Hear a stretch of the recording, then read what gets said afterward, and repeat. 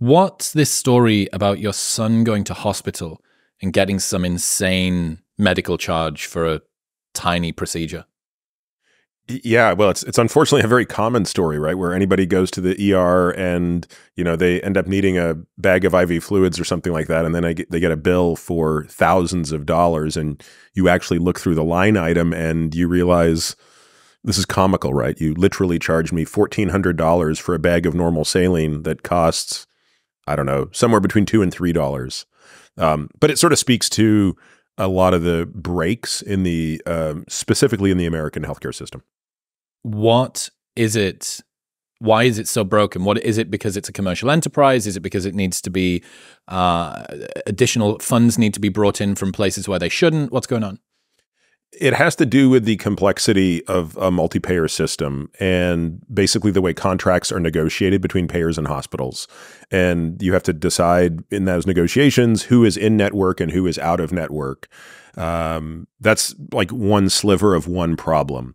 Uh, this this exists on on so many levels, um, but in in that case, I think the issue came down to, you know, some very high deductible that wasn't met, coupled with you know some out of network thing. But the the truth of it is, there's also uh, ridiculous pricing. So so there's a sort of a false sense of how much things cost in hospitals. It's sort of funny money. Like we're going to really, really mark up the price so that we can give you a big discount if you're in network. Right. You know, so you you see this across the board with all sorts of things in medicine. And to rehydrate your son, it costs like six grand or something. I can't remember the dollar amount. It was so egregious. Um, and again, I it, it, it's infuriating to me when you keep in in in mind the fact that you know probably the average American would have a hard time on short notice producing a thousand dollars. And yeah, I'm fortunate enough that I can produce a thousand dollars without uh, too much difficulty. But for the average person, maybe 50% of the population, that's a really big deal. And that's a huge inconvenience, right? That means that changes your plans yep. dramatically. It means you're not taking a vacation that summer. It means you're not, you know, not able to go out with your family for how long movie are you paying night. off that credit yeah, card exactly, debt for, exactly. etc. And it um, totally it's totally inexcusable. I went to a ghost tour in New Orleans five years ago, and the guy that was taking the tour finished up afterward, and I was asking him about the American healthcare system, and he said this thing. It's really stuck with me. He said, "If you get hit by a car, you'd better walk it off." His point being that there are medical emergencies that can happen that can ruin your life by you having to fix them, not by you not fixing them. Yeah. Um, healthcare is the number one cause of personal bankruptcy in the United States. No way. Yeah. I, it's strange for me as someone who's coming from the UK, right? I, yeah. There are problems with the NHS. Don't get me wrong. I have had my share of problems with the NHS, but there's a social safety net that picks people up. And it yeah. feels to me, it feels barbaric to not like you you don't get the privilege of healthcare.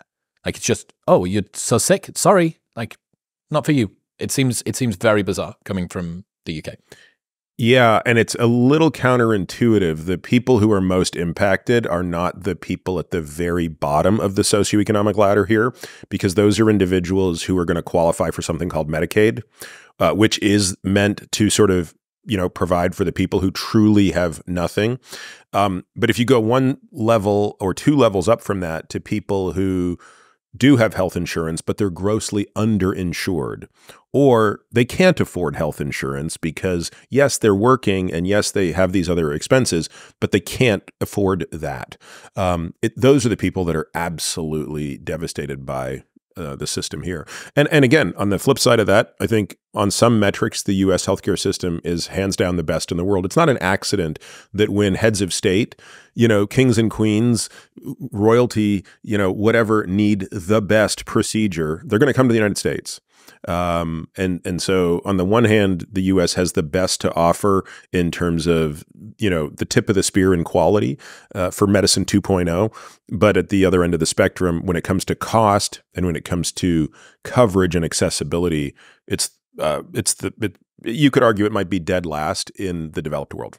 Look at where it all began, the wild west of America. Though your cardiac machine being powered by a nice water wheel or whatever it is. Yeah, you talk about this. I, I really love this conception between uh, medicine 2.0 and, and 3.0.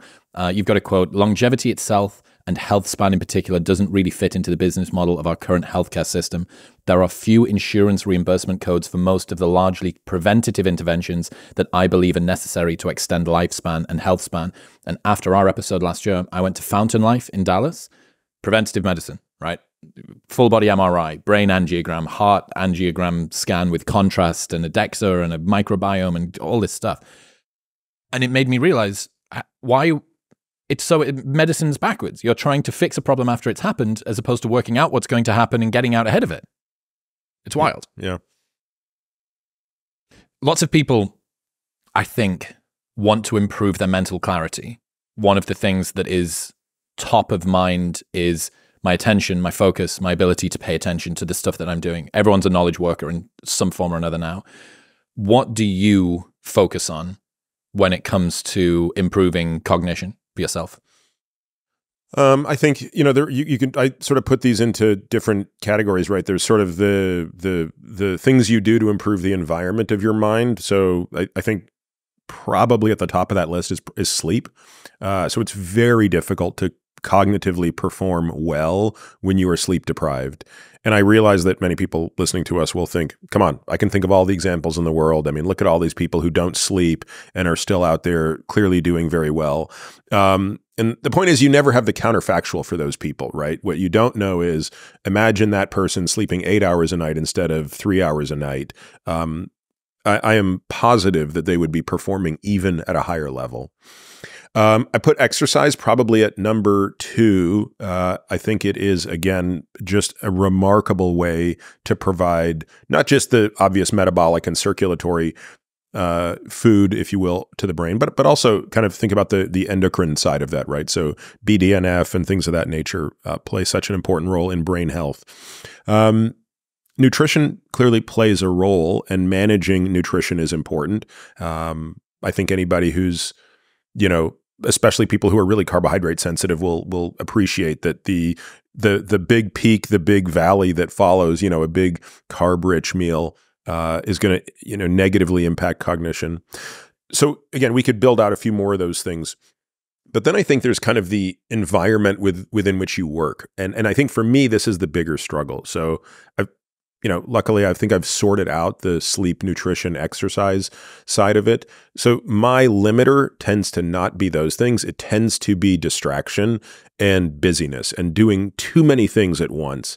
That's probably the thing that limits my capacity for uh, high quality work or deep work, as Cal Newport would describe it, right? What are the rules or techniques that you set yourself to try and maximize deep work time?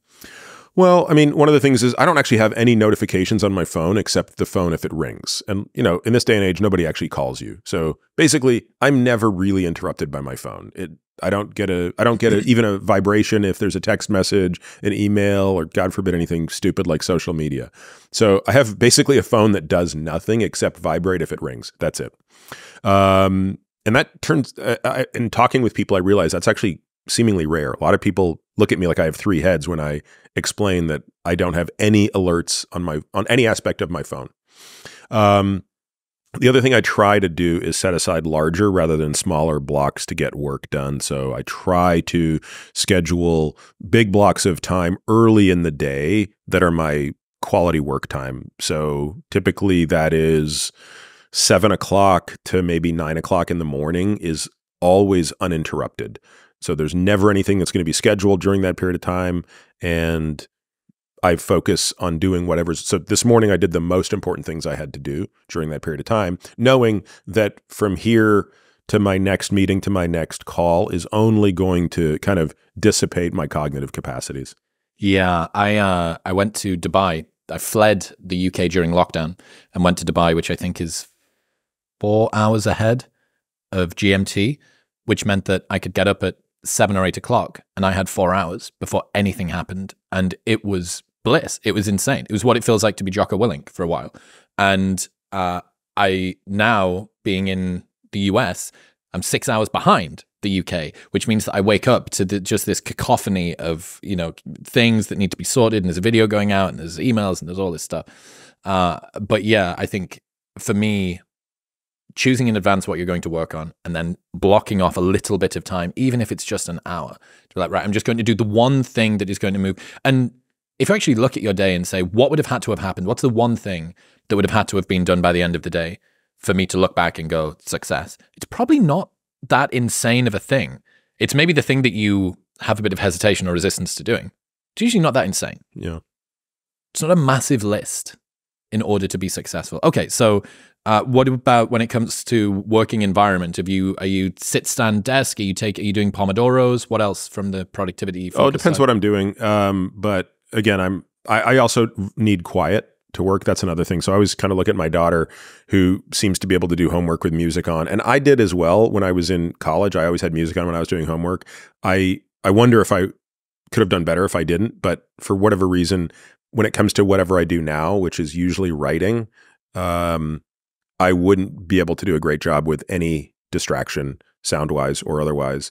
Um, stand, yeah, I like to be standing if I'm not on Zoom. Uh, my the way my office is set up, it's just a lot easier to be sitting if I'm on Zoom. I also, you know, I think, you know, people ask me all the time, like, do you, you know, do you count your steps or how many minutes you're standing or sitting? And the truth of it is, I don't at all right? And the reason is I'm doing so much other stuff that I don't really need to be particularly attentive to those things. Mm-hmm. All things equal, of course, I'd rather be standing or walking than sitting. Um, but but I don't tend to fixate on it. You're ignoring dollars to pick up pennies if you're thinking about how much time you're spending standing throughout the day. Yeah, and by the way, I think that is valuable for an individual who can't make two hours a day to exercise. But fortunately, I've just made that an unbelievable high priority. Where yeah, it's I'm always going to be doing the really important stuff during dedicated time. What about supplementationally or pharmacologically? What are you using if you need to dial in focus a little bit more? Nothing. Um, I do, well, I shouldn't say nothing. So I love caffeine, although I I'm not convinced I'm really getting a benefit from from it. I am a very very fast metabolizer of caffeine, so I probably consume 300 to 400 milligrams a day. But if I don't, nothing happens. Like I, I can't appreciably tell a difference. So for me, it's I love the taste, I love the ritual, I love making coffee. My wife loves coffee. It's the one thing I can do first thing in the morning that makes her happy. uh, you know, so it's like you know, you know, it's it's so I don't I, I don't even though people would argue that caffeine, of course, is a cognitive uh, booster. Um, I'm not convinced I appreciate the the the metrics of that. Um, I do occasionally uh, put a nicotine patch in my mouth. I probably get more benefit from that. Um, truthfully, and maybe I'm just not aware of other products. The product I use, I think, is too high a dose. So you have to. It's a seven milligram pouch. Hmm. So you have to kind of time it because as you probably know, nicotine is a very unusual molecule where at low doses it provides a heightened sense of awareness. So it's actually concentrating you, but then you actually cross over a hump and then nicotine becomes actually quite relaxing and sedating. I didn't know that. Yeah, it's, a, it's an unusual molecule in, in, that, in that it has behavior. So, um, both of those properties are ideal. It's great to be focused when you need to be focused. It's also great to be relaxed when you need to be relaxed. It's just you don't want those at the same time. Yeah. So with these seven milligram pouches, and again, there's people watching this that I'm sure are going to be like, "Come on, you idiot! Don't you know all this other set of products that are out there?" Um, I used to I used to enjoy gum more because you could chew two milligrams at a time, which was really the right dose to just induce the focus. Um, again, nicotine is an addictive compound, so I say I don't say this lightly, um, but for whatever reason I don't appreciate any of that. So, in other words, I might have it three times a week for a month and then forget about it for six months. And I don't seem to miss it in any way, shape, or form. Mm. Um, and obviously, the mode of delivery matters. So, you know, I'm not remotely interested in vaping in, it. Yeah, I'm not. I'm not at all interested in in in that. Um, it's it's got to be basically gum or a, a lozenge or something. It's so interesting that the dose can take you from where you want to be to where you really don't want to be but it's the same. Yeah, or it depends. Like again, sometimes if if a, you know, and I don't use it in this capacity, but if you really need to relax, a seven milligram slug of nicotine will relax you. That would just make me want to throw up. That would make me want to throw up everywhere. I'm very nicotine sensitive. Yeah, no, that's a real issue. So, what about? We're talking about. There's one other compound that I add to the list, although I rarely need it. But if I'm doing a lot of time zone movement, I will also lean on modafinil. Okay, and how would you use that for yourself? Just use it as a quick reset on circadian rhythm in the new time zone, right? So, for Take example, it first thing in the morning. Yes. So take it first thing of the morning of the new time zone, which is not the new, which is not my morning internally, right? So if I had to go to London tomorrow, um, and I had to be there for 48 hours and then come right back, my strategy is let's say I'm leaving Austin at 2 p.m. So 2 p.m. Austin time is what's that, 9 8 p.m., 8 8 p.m., depending on daylight savings. So I would go, put myself to sleep on the plane within two hours so that I go to bed London time, even though it's 4 p.m. Austin time and I don't want to go to sleep. And then What would you do to induce sleep? Given that uh, you're in the I have kind of your a whole long protocol, but basically it comes down to how early did I wake up in Austin the day of? When did I exercise? What did I eat? And then I'm going to try to shut off my adrenal glands with phosphatidylserine. Um, I'm going to take trazodone, a dose of a high dose of melatonin, which is not something I normally use to sleep, and that's going to put me out. What were the first two things that you mentioned? Uh, phosphatidylserine and trazodone. and what do they do? Phosphatidylserine uh, in, inhibits uh, cortisol output from the adrenal glands, and trazodone is a funny drug. It's um, it's actually it used to be used as an antidepressant in the '80s, but it never really took off because it had this um, nasty side effect of making you tired. So as SSRIs and the like came on board, it sort of fell by the wayside. We now use it as a remarkable sleep drug. It's incredibly safe, and more importantly, it doesn't just induce sleep; it induces stage-appropriate sleep. It's a very helpful drug for people who um, don't suffer from any initiation insomnia, but who do tend to wake up intermittently at night, either due to anxiety or you know just any anything that kind of gets people up. Trazodone basically buzzes over Smooths that. that out. Yeah. Okay, so you've then taken that melatonin. What sort of dose? Again, normally I don't take any, but if I'm looking for the hammer, I'm going to take three milligrams. Wow. Yeah, that is a lot. I mean, here's just before we go on to how to then wake up when you get to London, the levels of dosage that you can buy in CVS of melatonin It's crazy. is wild. Can, can you just give the overview of how the dose curve works for melatonin with humans? Well, I mean, it, what's interesting is physiologically, the pineal gland doesn't make that much melatonin, right? It's making um, micrograms of the drug. So I think the smallest dose I've ever seen that you can buy might be 300 micrograms. Like maybe there's someone out there that makes a, a Point three of a point of- three milligram. Yep. Yeah. That's probably the smallest I've seen. Maybe there's a, a point one out there. I've got a, a a spray, and each spray, sublingual spray of it is 0.3. okay. Yeah. Uh, So unless I can like Yeah. manage to exactly. half trigger it, there's no way I could get But most of the time, you're looking at one to five milligram, i.e., 1,000 to 5,000 micrograms of this stuff, and even 10 milligrams. And the problem with that is, eh, it, it seems if, if, if you look at the literature, uh, and I haven't looked in a while, but the last time I did, doses north of about six or 700 micrograms, 0.6 to 0.7 milligrams, tend to really suppress melatonin receptors in the brain. And so, as a long term strategy, it's probably a bad idea. so would that create basically a physiological Dependence. dependency? Yep. So, my I try to get patients off melatonin, truthfully, and reserve it for jet lag and for travel only, and and not rely on melatonin as a as a nightly sleep aid. But for But if you're going use, to, I, I want them to be as low of as time, possible. Yeah. 48 hours.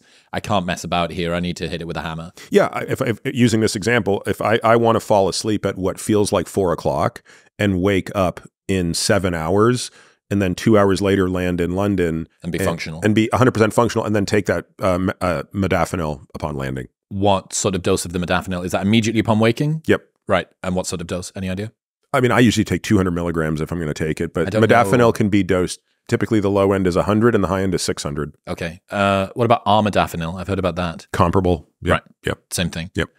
What is? I'm. You're speaking to someone that's never taken modafinil. What's the sensation of it like? Uh, it depends on the individual. So I perceive nothing. I'm just more awake and I'm I feel fantastic, but I don't get a high from it. I don't get any stimulation from it. I know there are some people, I can't tell you what fraction of people, but but a non-trivial fraction of people actually experience a negative sort of stimulation effect from it. You mean? the you mean? oh, like they feel like uh, it probably feels like what ephedra used to feel like back in the day.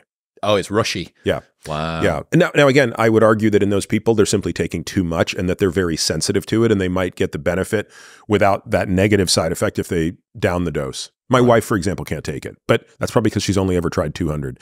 And I would bet if she ever really needed it, I'd probably give her 50 or 100. In other news, this episode is brought to you by Element. Stop having coffee first thing in the morning. Your adenosine system that caffeine acts on isn't even active for the first 90 minutes of the day, but your adrenal system is, and salt acts on your adrenal system. Element contains a science backed electrolyte ratio of sodium, potassium, and magnesium that helps to regulate appetite, curb cravings, and improve your brain function. You've probably heard me talk about it a million times, and that's because I love it. It tastes fantastic. It's got zero sugar, no junk, no colors, no artificial ingredients, or any other BS, and it's how I start every single morning. Best of all, there's a no BS, no questions asked refund policy with an unlimited duration, so you can buy it 100% risk free. If you don't like it for any reason, they will give you your money back, and you don't even need to return the box. That's how confident they are that you'll love it. Right now, you can get a free sample pack of all eight flavors with your first box by going to the link in the show notes below or heading to drinklmnt.com slash modern wisdom. That's drinklmnt.com slash modern wisdom. Talk to me about, so that's mental clarity in the now.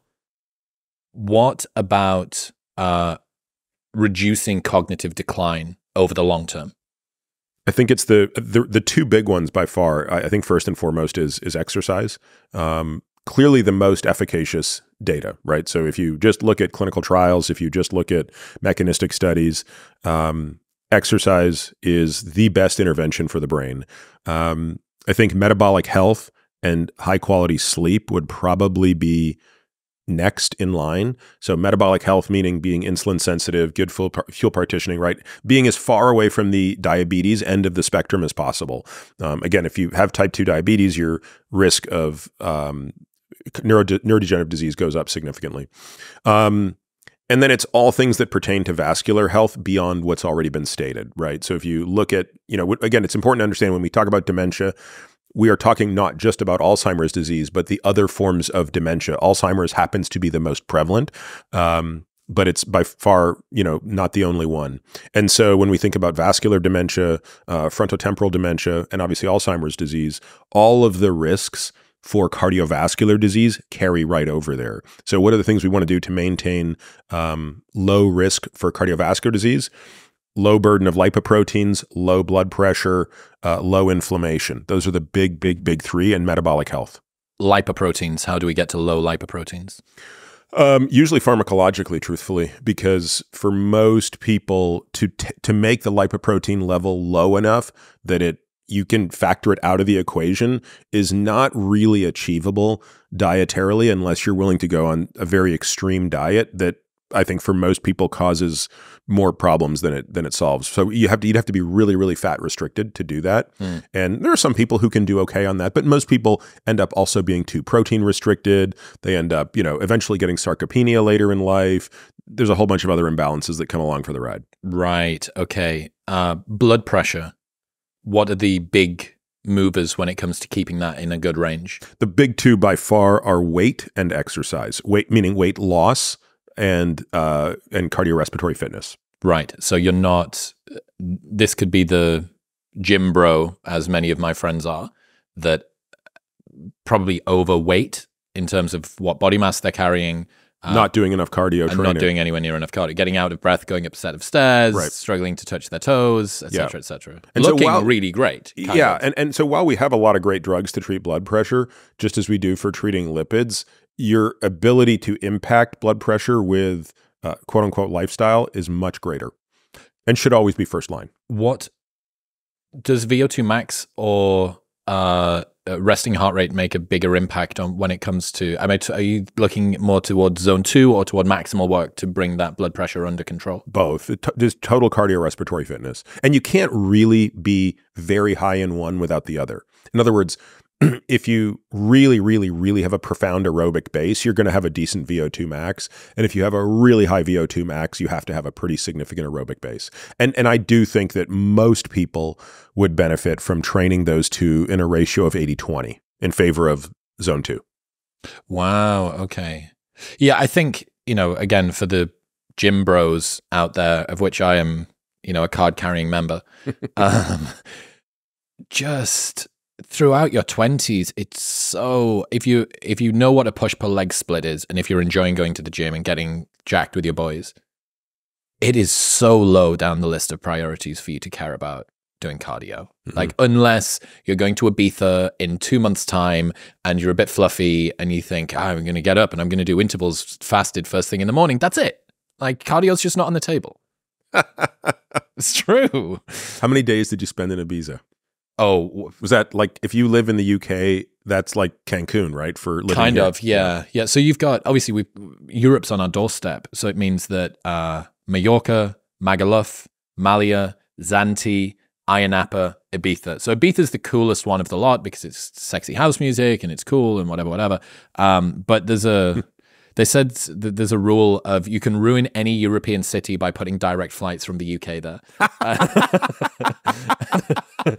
it's so true. You hear these stories about uh, planes that need to be turned around in the sky because they're you know, too rowdy. In the yeah. yeah, way too rowdy. And you think, look at any British airport. If you go Easter holidays, look at any British airport, five thirty in the morning. Everyone's got a pint. Everyone. Parents have got a pint as they're going away because it's drinking is just such a inbuilt part of British culture. It is in our blood, literally. But I think, you know, we spoke about this last time. I think we're turning a corner with alcohol. I think, I really think we are. I think that the way that people see it is this sort of go to coping mechanism, like the relaxation mode of choice, the thing that alleviates social anxiety. Perhaps this is because people aren't putting themselves into social situations quite so much. They're able to sit in the house a little bit more. Um, but my previous industry was nightlife. And, you know, I speak to my uh, ex business partner and all of the guys I used to work with. And the louty, Larry sort of drinking culture has now been wildly supplanted by much more chill sort of brunches and and it seems to have matured a little bit more so maybe we when i was in london last summer um, I went to, uh, you know, near around the Parliament and stuff, and there was this great statue of Winston Churchill outside of a park. What do you, you know the name of the park I'm talking about? It has a, a, a statue of Churchill facing out. Okay. He's the only one facing out. I think all the other statues of great folks are facing in, and it's facing um, I'm blanking on the name of the tavern, like Stephen's Tavern or something like that. And, you know, so the lore is that that's where Churchill held shop, right? Because you had to be within a certain distance of Parliament. So that if you got called back to Parliament, you could go. So basically, Churchill lived there. He was always eating and drinking there and holding court. So, of course, I had to go there, and there's no way I wasn't having fish and chips and some pint of whatever. And I mean, I just did this every day, even though I couldn't stand the beer, but I was like, I'm going to have fish and chips and a pint of whatever your finest unspeakable warm horrible lager. piss water is. Yeah, yeah, yeah. But if Churchill did this, I'm doing this. I got from my tour manager, I got a, a Christmas present of the champagne that Churchill used to demand was at every lunch meeting. And he made this company create a new sized bottle because a half bottle was insufficient and a full bottle was too much and he couldn't think. So they made a pint bottle of champagne and it's this and it's got the lore on the back and it's beautifully designed oh, and man. apparently it tastes like fizzy. I haven't opened it yet. I need to wait for a good occasion. Um, it tastes like fizzy apple water or something. And uh, yeah, he made them. He, imagine being the guy that goes to a high class champagne establishment and says, uh, "This uh, it's not quite enough with the with the half bottle. I don't need a full. Make make me a new one. I mean, that's the that's the power that you've got. Yeah. You say that striving for physical health and longevity, but ignoring emotional health, could be the ultimate curse of all. What do you mean by that? Well, um, you know, there's a there's a there's this Greek mythology of a, a fellow I write about in the book Tithonus who who requests of the gods uh, immortality and he gets granted eternal life, but not eternal health. And so he has this horrible curse where he's alive, but he's physically decaying all the way into this decrepit, never ending state. And so I think an extension of that is well, if your if your um, emotional health, which encompasses many things, happiness, the quality of your relationships, any sense of purpose, any sense of happiness, if that is in a bad place, why would you want to live longer? I mean, you, you're, you're objectively suffering, so why would extending that suffering be of any value? Um, and again, like you can you can play sort of thought experiments all day long. So uh, let's let's play one. So um, you know, the little bit I know of you, Chris, you enjoy people, right? Like you're not an antisocial human being. So if I told you, um, Chris, whatever number you think is the dollar amount that it's going to take to make you happy, we're going to double it. Okay. That's how much money you've got. And whatever metric of your own physical health, defined by how big your muscles are, how low your body fat is, how well you can perform, let's give it to you plus 20%. Sounds good so far. Yep. And um, the only catch is you're the only person on the planet now. Now, don't worry, I've created a bunch of bots that will do everything. So your standard of living won't go down. Like you're going to have bots that will do anything and they'll provide your food and everything. How how happy is your life? Like how long until you kill yourself? Not long. No, because think about it. Like what are you doing?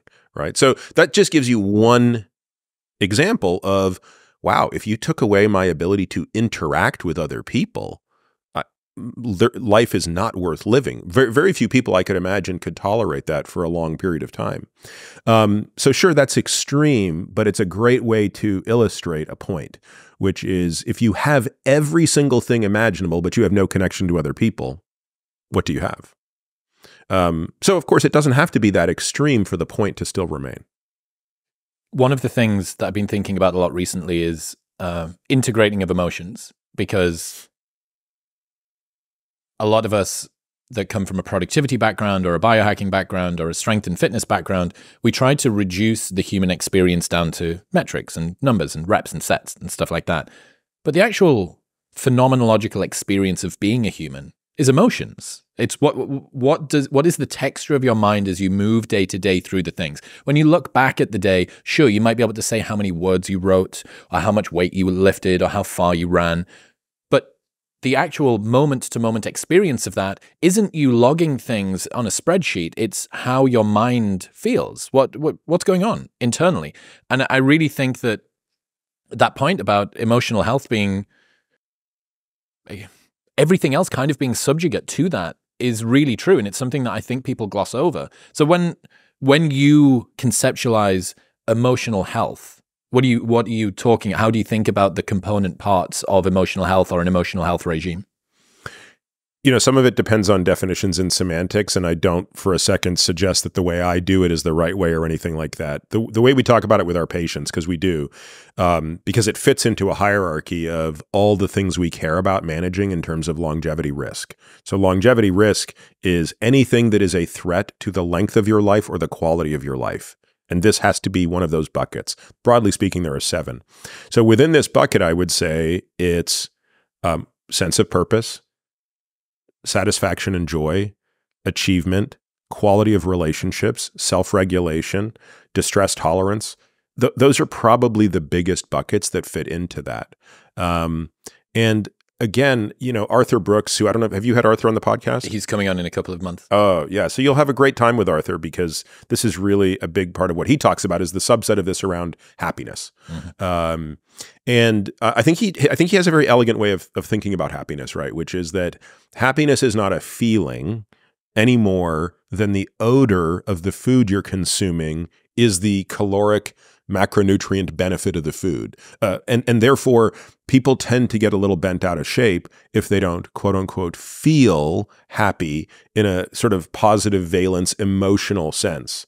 Um, and I, I, think that's actually one of the most important things I've learned in the last couple of years is that I shouldn't confuse my feelings with my state of happiness and that that when I when I'm evaluating the, my emotional state through the lens of happiness, I really want to go through these these more nuanced metrics around like am I am I living in a manner that is congruent with what I believe my purpose is my purpose first and foremost as a father and husband, but then secondly, my, my, my purpose as a doctor, and then maybe my purpose as a public figure, but, but I feel like I do have a purpose and all those things. Okay. And then like, what is the state of my relationships? Wh- where are my relationships good? Where are my relations under strain? Where are my relationships lacking in my attention?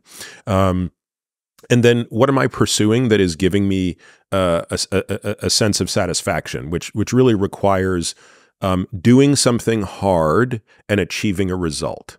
Like, and I, you know, some people are more wired to need that than others. Mm-hmm. Uh, you probably are. I know I certainly am. And my entire life has been built kind of around hard things to do as little, you know, side projects, you know, physical challenges, sometimes, sometimes business challenges, writing a book, something like that, where you toil and it's hard, but at the end there's something you're you're proud of. So anyway, it's it's it's it's it's about accounting through all of those things.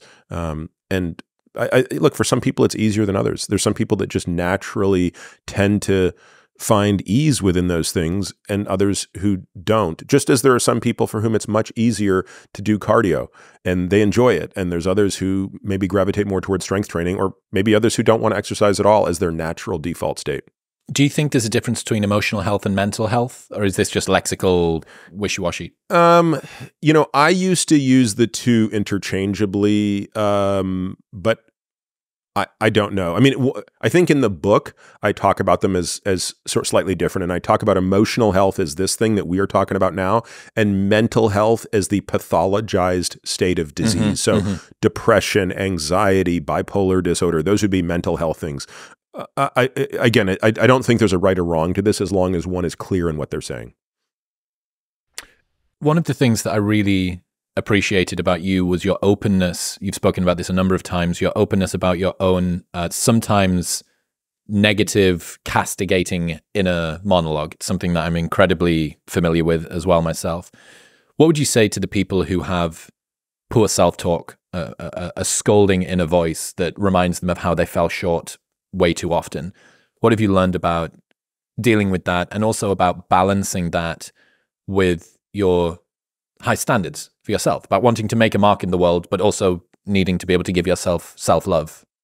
Yeah, it's an interesting question. Um, I don't know that I could provide generic advice on the topic because it probably depends on where the person is in pain right now. So I know that for me, the message, the the reason I was willing to engage in the discussion around changing the behavior was because the output of it was was was made clear to me, right? So once I recognized the link between my self-talk and my rage, and I fully accepted the fact that I wanted to rid myself of rage, then I accepted the fact that I had to go and fix the self-talk. So my guess is the only way to really try to convince somebody that um, you're having an inner Bobby Knight, which is what my guy was, having an inner Bobby Knight that screams at you all the time is harmful, is by helping them understand a clear path between how that behavior links to something that is hurting them in another way that is more obvious. And I, th- I think if you can't do that, it's probably a little too abstract to just say, you know, you should be nicer to yourself. I listened on recommendation from a friend to a 20 year old, nearly 20 year old Tony Robbins Awaken the Giant Within workbook on Audible. It's about an hour and a half. And I'd never read the original book. And in it, he talks about pain pleasure principle. And he talks about bringing, uh, with decisions that you want to make or with habits that you want to change, bringing as much pain to bear. Look at what this has cost me in the past. Look at what this is costing me now think about what this will cost me in the future, and then turn that up to a thousand. So my friend wanted to stop biting his nails. So he thought about all of the times in the past that girls had sort of made an icky sort of move when he put his hands on them and they'd seen them and how ashamed he felt about it at the time and about how this was going to hold him back in the future and how it made him feel like a juvenile and it was immature. And then he went online to turn it up to a thousand and he looked at the worst photos that he could find of people that had bitten their nail, these awful, you know, like bloody stumps of fingers. Mm uh, and then he thought about the opposite. He thought about how much pleasure could I bring to this, how proud I would be if I'd overcome this thing that I'd, I'd done for 20 years, about uh, how much more attractive I would feel, about how much more confident I would feel when I shake someone's hand or I put my hand on my girlfriend's leg, and these sorts of things. And uh, I have to say, it's incredibly powerful. Like to do that, to bring to bear. And what you're talking about is there is a inner tormentor that kind of does a thing but it's all inside of your head and it's upstream from some things that actually manifest that you can kind of hold on to and do a thing. So how do you get how do you get back up and how do you point the finger at what's actually going on? Well, you bring to bear so much of what's happening in the real world. But yeah, it's I think this is one of the most common issues, especially people that listen to this sort of a podcast. You know, the high achievers. They want to do things. They want to leave a mark on the world. They want to improve themselves. But so much of that comes from like whipping themselves into submission all the time. I'm going to castigate myself until I, I like bow under the strain of how much torment I've given to myself. And I, but it, as you know, it, it, there's a real myth that you have to do that to perform well, right? Um, and and the myth is that you know there are plenty of great coaches who extract remarkable performance from their athletes without that behavior. So, and it doesn't mean you're not firm, and it doesn't mean you don't have high standards, and it doesn't mean that if the team absolutely shits the bed and doesn't show up, that the coach isn't going to let them have it. But that's, you know, that's very different from the constant berating. And also, I, I think there's just a real difference in terms of, um, you know, differentiating kind of um, a negative behavior or a negative outcome from the individual themselves is the is the is the problem, right? So so it's one thing to say I don't like that I wasn't able to do X, Y, and Z. That's a different statement from I am a worthless person because I didn't do. It's a, a comment on my my self worth, on how much respect I am owed by the world. Okay, so take me through how you reprogrammed that self talk. I understand that you can have this thing. The rage is downstream from the whatever, but what what did that look like? What did going in and fact checking your uh, very stern inner voice look like? Uh, it was a, it was actually a very deliberate set of actions because I think you have to do actions, and the easiest way to reprogram is through voice. So uh, I think you have to audibly reprogram a system.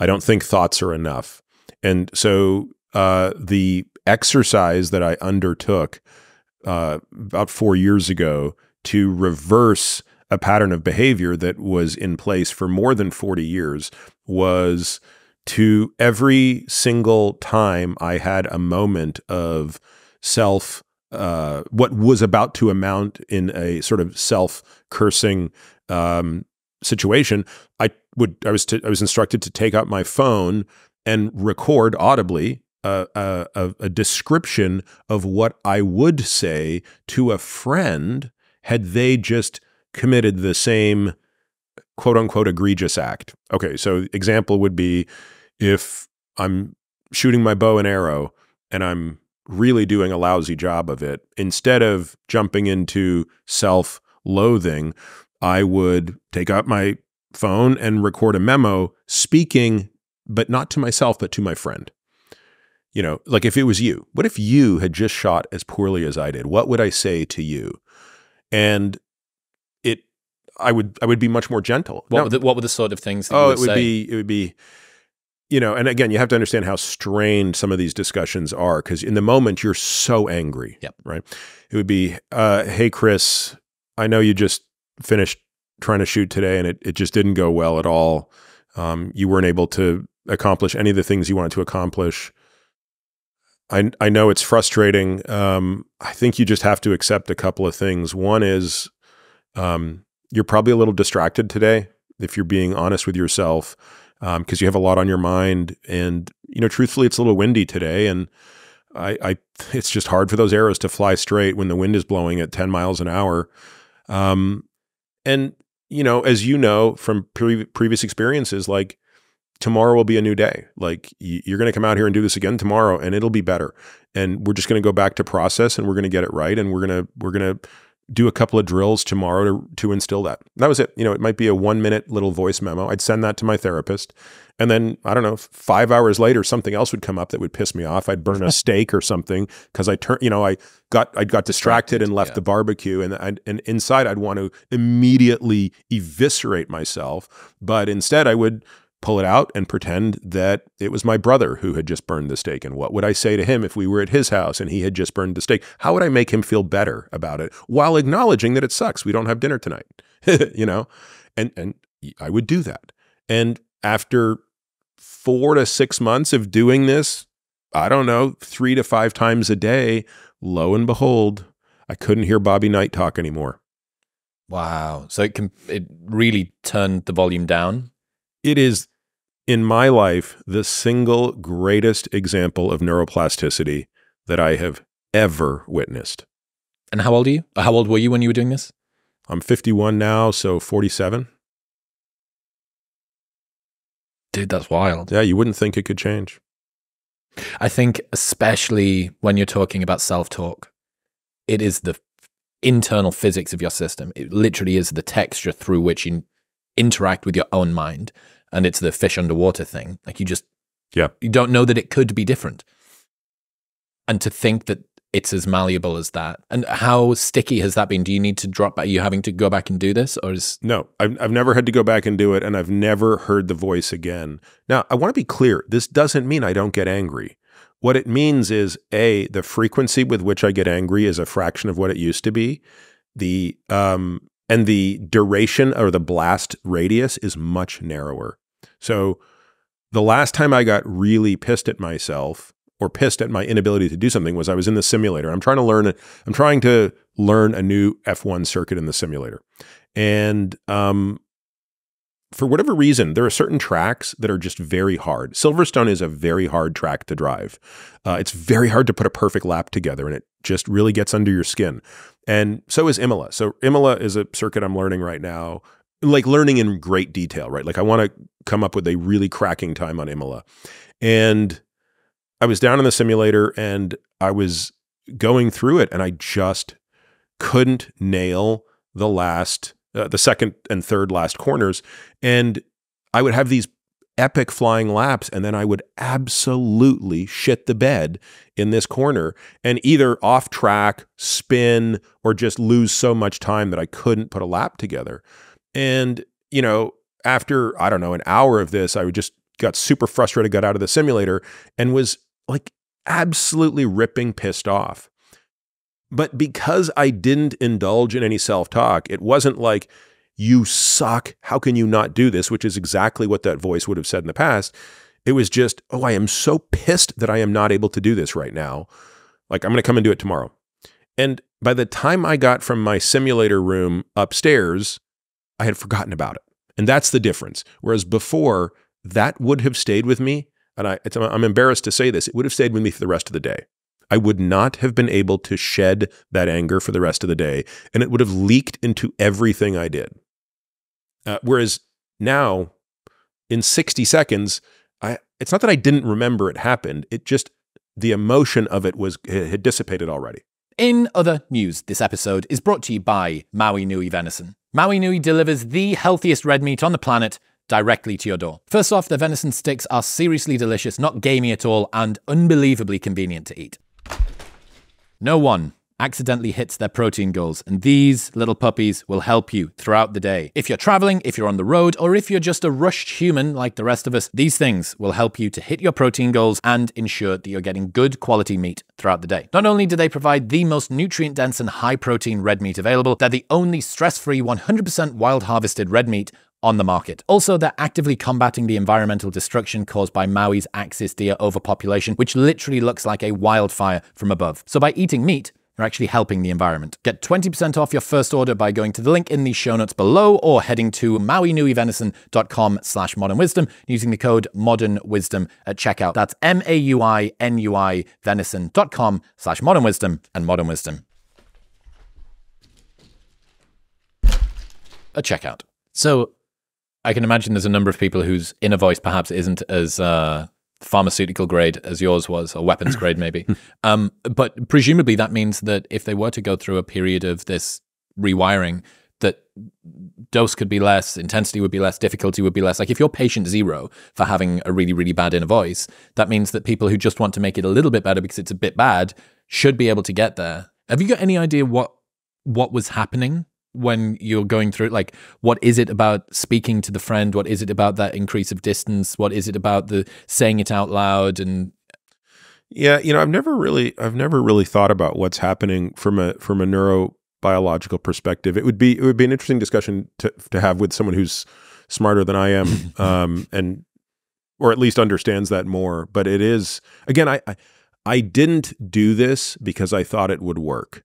I really was like this is kind of a dumb idea. There's no way this is going to work. And I'm going to just be doing this for the rest of my life. And maybe the fact that I have to do this for the rest of my life is the penance, Mm. like for for my sins. But I was like, it can't work.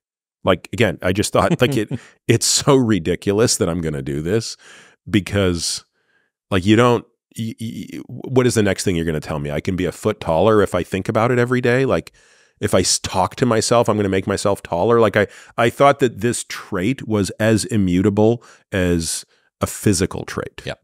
Yeah. You did a insanely long or intense period of therapy at one point. Can you tell me about that? Um, yeah, I've done two. Uh, so these were like residential therapy programs that I went to, where I spent uh, two weeks in the first one, three weeks in the second one, where you're you're in a full time residential place doing therapy, twelve to yeah, probably 12, 13 hours a day. That's like um, mind rehab. It's like mental rehab. Yeah, it's immersion, right? Right. So so it's different. You know, the way I, people say to me, people who have felt the need or wondered if it was something they would benefit from have asked me and they said, look, you know, is it the same as just doing X number of hours of therapy? And I say it's not because it's it's it's sort of the same of saying like, look, if you really wanted to learn Spanish, would you be better served doing an hour a week with a tutor, or would you be better served moving to Spain and not letting anybody speak English to you? Like the, the the difference in speed with which you're going to get there based on total immersion uh, is is very separate. I've never heard of this before. I didn't know this. It's like a meditation retreat, but for therapy. I'd never heard of it. Yeah, and again, these these programs, and there's probably many of them. You know, they're very well structured, right? So it's not just it's some group therapy, some individual therapy. You know, EMDR for trauma, family history stuff.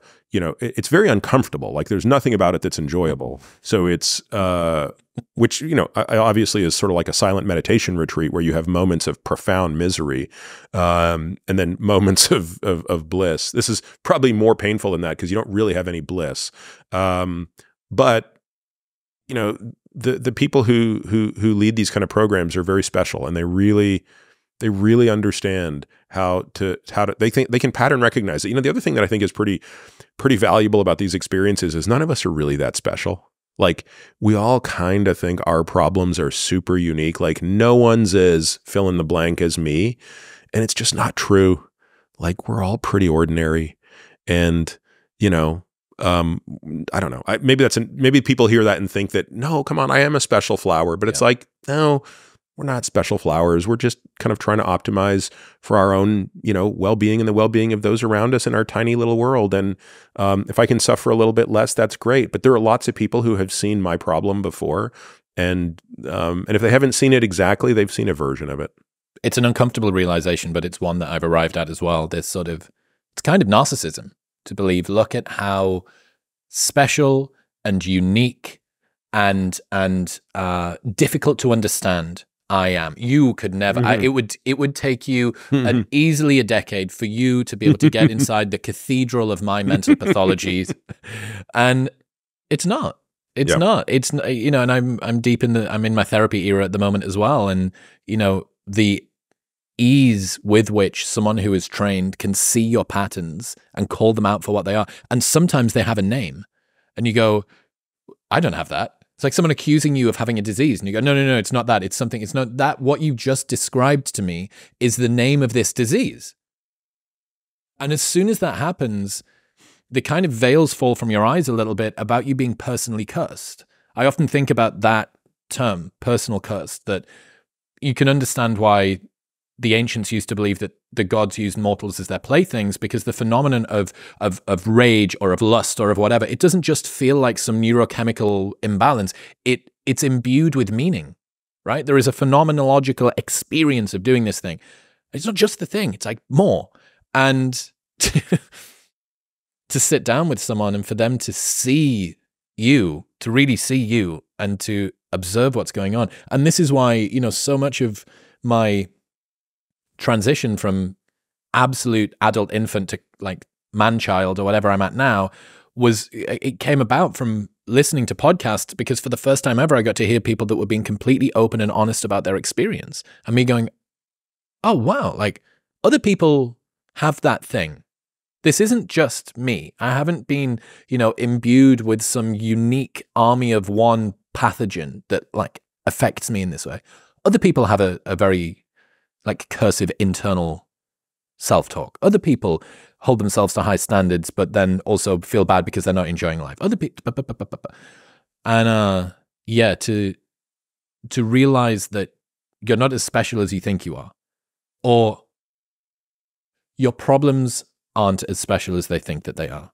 Yeah, or as unique. Yes. Yeah. Yeah. And there is usually a pathway, a pretty well laid out pathway of, okay, well, where does this come from? And then how do we look at it? And then how do we move forward? It's not that hard. I wanted, I, I don't know whether I'd be able to do two or three weeks of, of full time therapy. Uh, uh, two hours a week is, is uh, heavy enough for me. So coming out the back of that, what was there an immediate change or was this something that required integration, like going on an ayahuasca retreat? Um, the, the the two were quite different and occurred at sort of they were separated by a few years. Um, I think the second one was more was more successful um, based on the fact that the first one I left uh, kind of against their advice, right? So they wanted me there for another four weeks, at a minimum another two. You'd done two. I had done two, and they wanted they everybody believed I needed a minimum of two more but likely four more. Feels like this is the worst case that we've ever seen. Bring in the doctor. They're like, clear.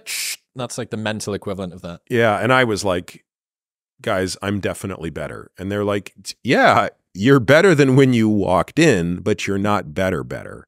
Uh, and they were right. I didn't know it mm. at the time. Uh, and I was wrong. And I left, and I left. This was in 2017. And I left and I largely held it together until 2019. And then I kind of fell apart again. And by 2020, I was completely apart. And at the beginning of 2020, I had to I had to go back and pick up the pieces of what I should have done the first time at a different place. And here, this is a place that's a little more intense. And they get most people out in a week. And after a week, they said, you you really need another week and I, I sort of saw them. I, I did. I, I was like, one, I had in the back of my mind the experience the first time, and I thought, okay, I can do it. And at the end of the second week, I really thought I was there, and they were like, "You're not there." And I was like, I was a little annoyed. I mean, I was a lot annoyed actually. Yeah. Um, it feels like you're working hard. You're making these sacrifices. You're trying to do better. Yeah, I'm like, I don't know what else you would want from me. Like, what would it take for you to say I'm better? And it's really interesting. I on a you know I ended up staying for another week, and on the the weeks there run Saturday to Friday is a week, so it's seven days. But the, the, it starts on the Saturday as the program, right?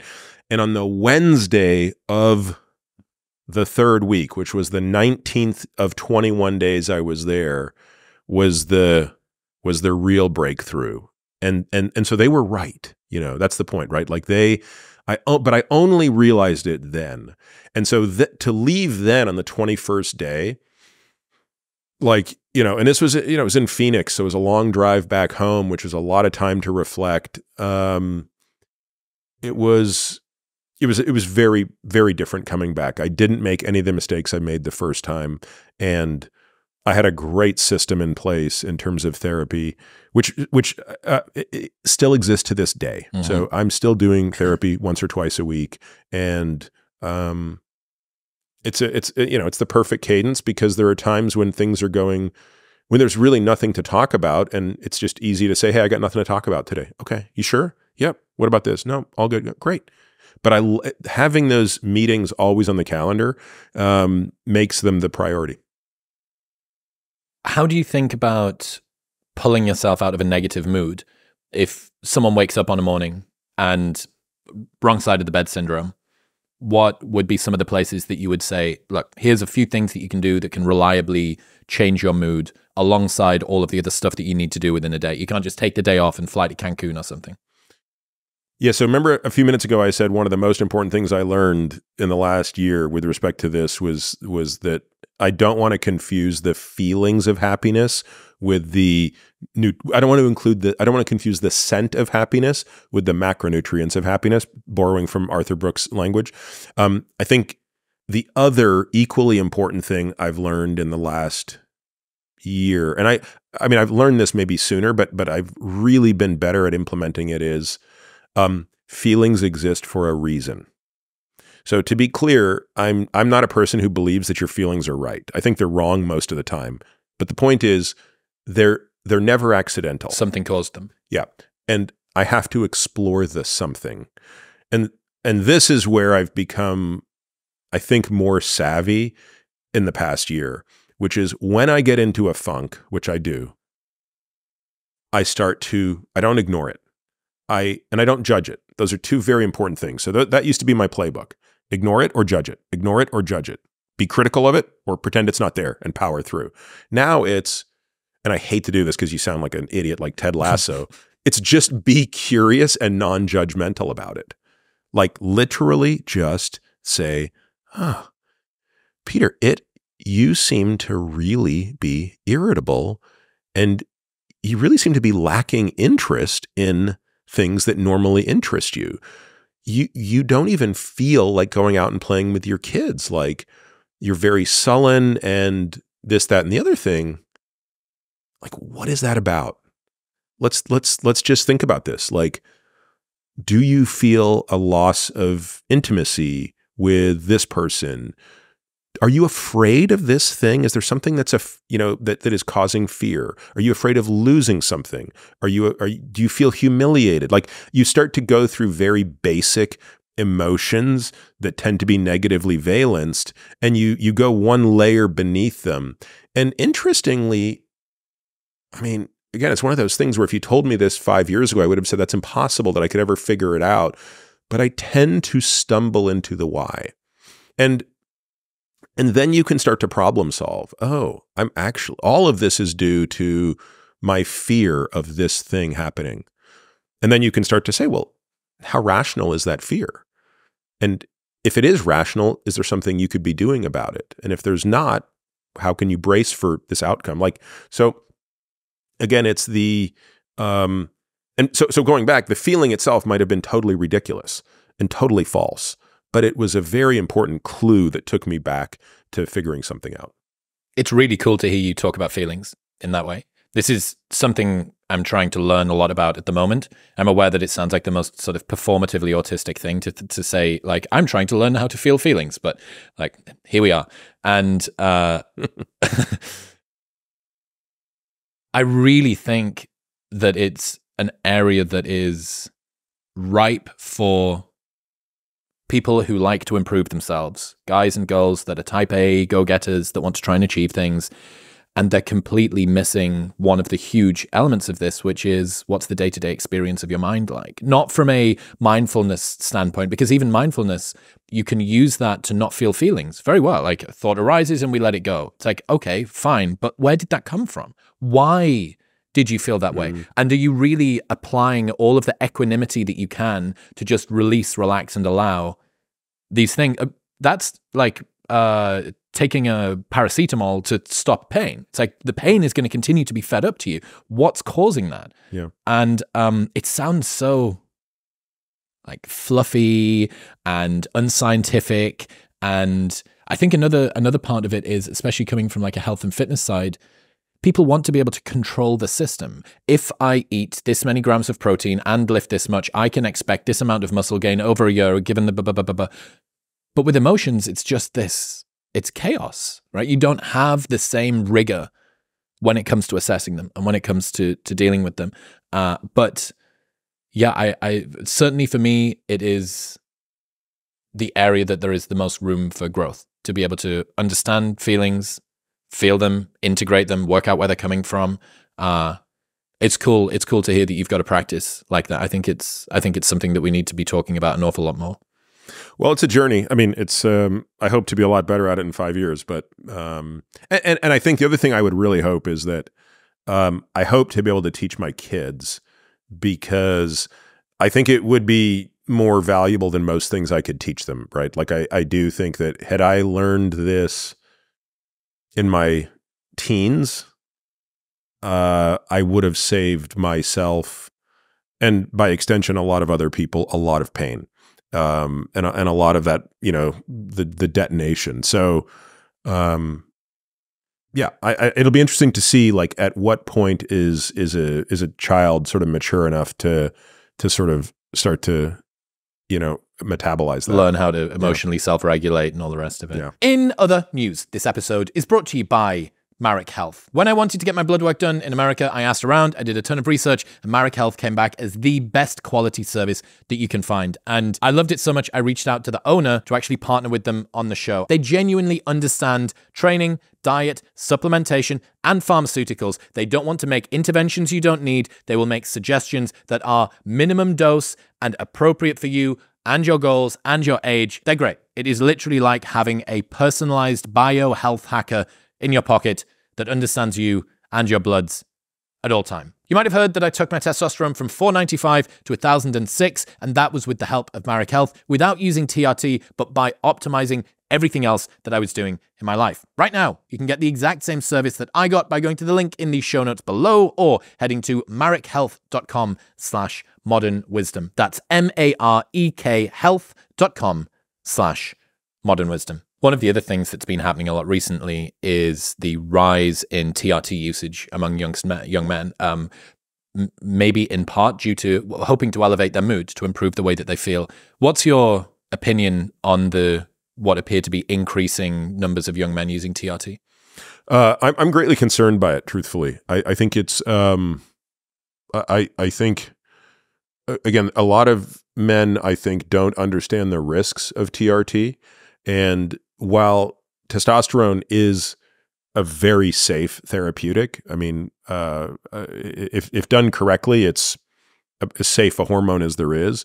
Uh, but you know, if you're talking about a young guy who doesn't actually understand the impacts of testosterone on fertility, for example, later in life, uh, doesn't understand what a physiologic dose is versus a super physiologic dose.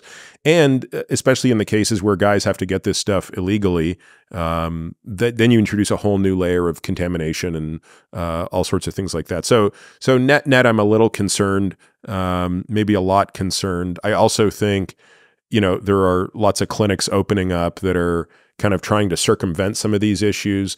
And again, I I, I think they're I think their their motivation is to capitalize on an obvious interest, but they do so without uh, you know necessarily a, a nuanced approach to how to do this. Take me through the risks of TRT. What are they, high level? So it depends on the on uh, if we're going to talk about TRT done correctly. Do you mean literally TRT, testosterone replacement therapy, or that the, and its more uh, malignant offshoots where people start to push dosages and stuff? Well, take us through you know the range. Well, I would say let's start with what's sort of known in the medical world, right? So we'll start with kind of appropriate physician administered testosterone replacement therapy for an appropriately aged individual. For an appropriately aged individual at an appropriate physiologic dose. Cool. Okay. So the two big risks that people have historically been concerned with are prostate cancer and heart disease. So an increase in the risk of prostate cancer and an increase in the risk of cardiovascular disease. Both of these have been studied extensively. And I think we can make a very strong and compelling case that testosterone replacement therapy is not increasing the risk of prostate cancer at all. And it may, in fact, be decreasing the risk slightly. Um, I've done an entire podcast, I think two podcasts on just that topic. That's how nuanced it is. Um, but again, we, to give you just one example, when we have a guy who has undergone a prostatectomy for prostate cancer, he's had his prostate removed, um, we will still use testosterone replacement therapy in that guy. So think about that. You have a guy who had prostate cancer you will still give him testosterone replacement therapy if it's warranted or indicated post prostatectomy. Now, do you do it and shut your eyes and never look again? Of course not. You're still monitoring his PSA every three months and you're going to look for any sign of recurrence. And if there is, in fact, a recurrence, you would immediately cease it because what we do know is testosterone would feed prostate cancer. But the point I'm making is around initiation. Is there any evidence that testosterone replacement therapy initiates prostate cancer? The answer is no, there is not. And there is some evidence to the contrary. The cardiovascular disease question is a little bit more difficult, and the data are a little bit more muddled, but on balance, they come out in the direction of TRT does not increase the risk of cardiovascular disease. Now, there's a big trial that was completed last year called the Traverse trial that gave men uh, uh, androgel, so topical testosterone, and followed them for, I want to say, three or four years. And there was no increase in the incidence of ASCVD, atherosclerotic cardiovascular disease. But there is, so, so at face value, that study was taken to mean look, we have one more study, the biggest and best, that demonstrated no increase in the risk of cardiovascular disease with TRT. So the debate should be settled once and for all. Um, I did a podcast on this, wrote a long newsletter on this, and the long and short of it is that's a, in my view, that's a slightly premature conclusion because I don't think the Traverse study was done perfectly. Uh, most importantly, it um, did not give men a high enough dose, in my view. So the men started out very hypogonadal with a total testosterone of somewhere between 1 and 300 nanograms per deciliter, but they were only replaced to about 600 nanograms per deciliter.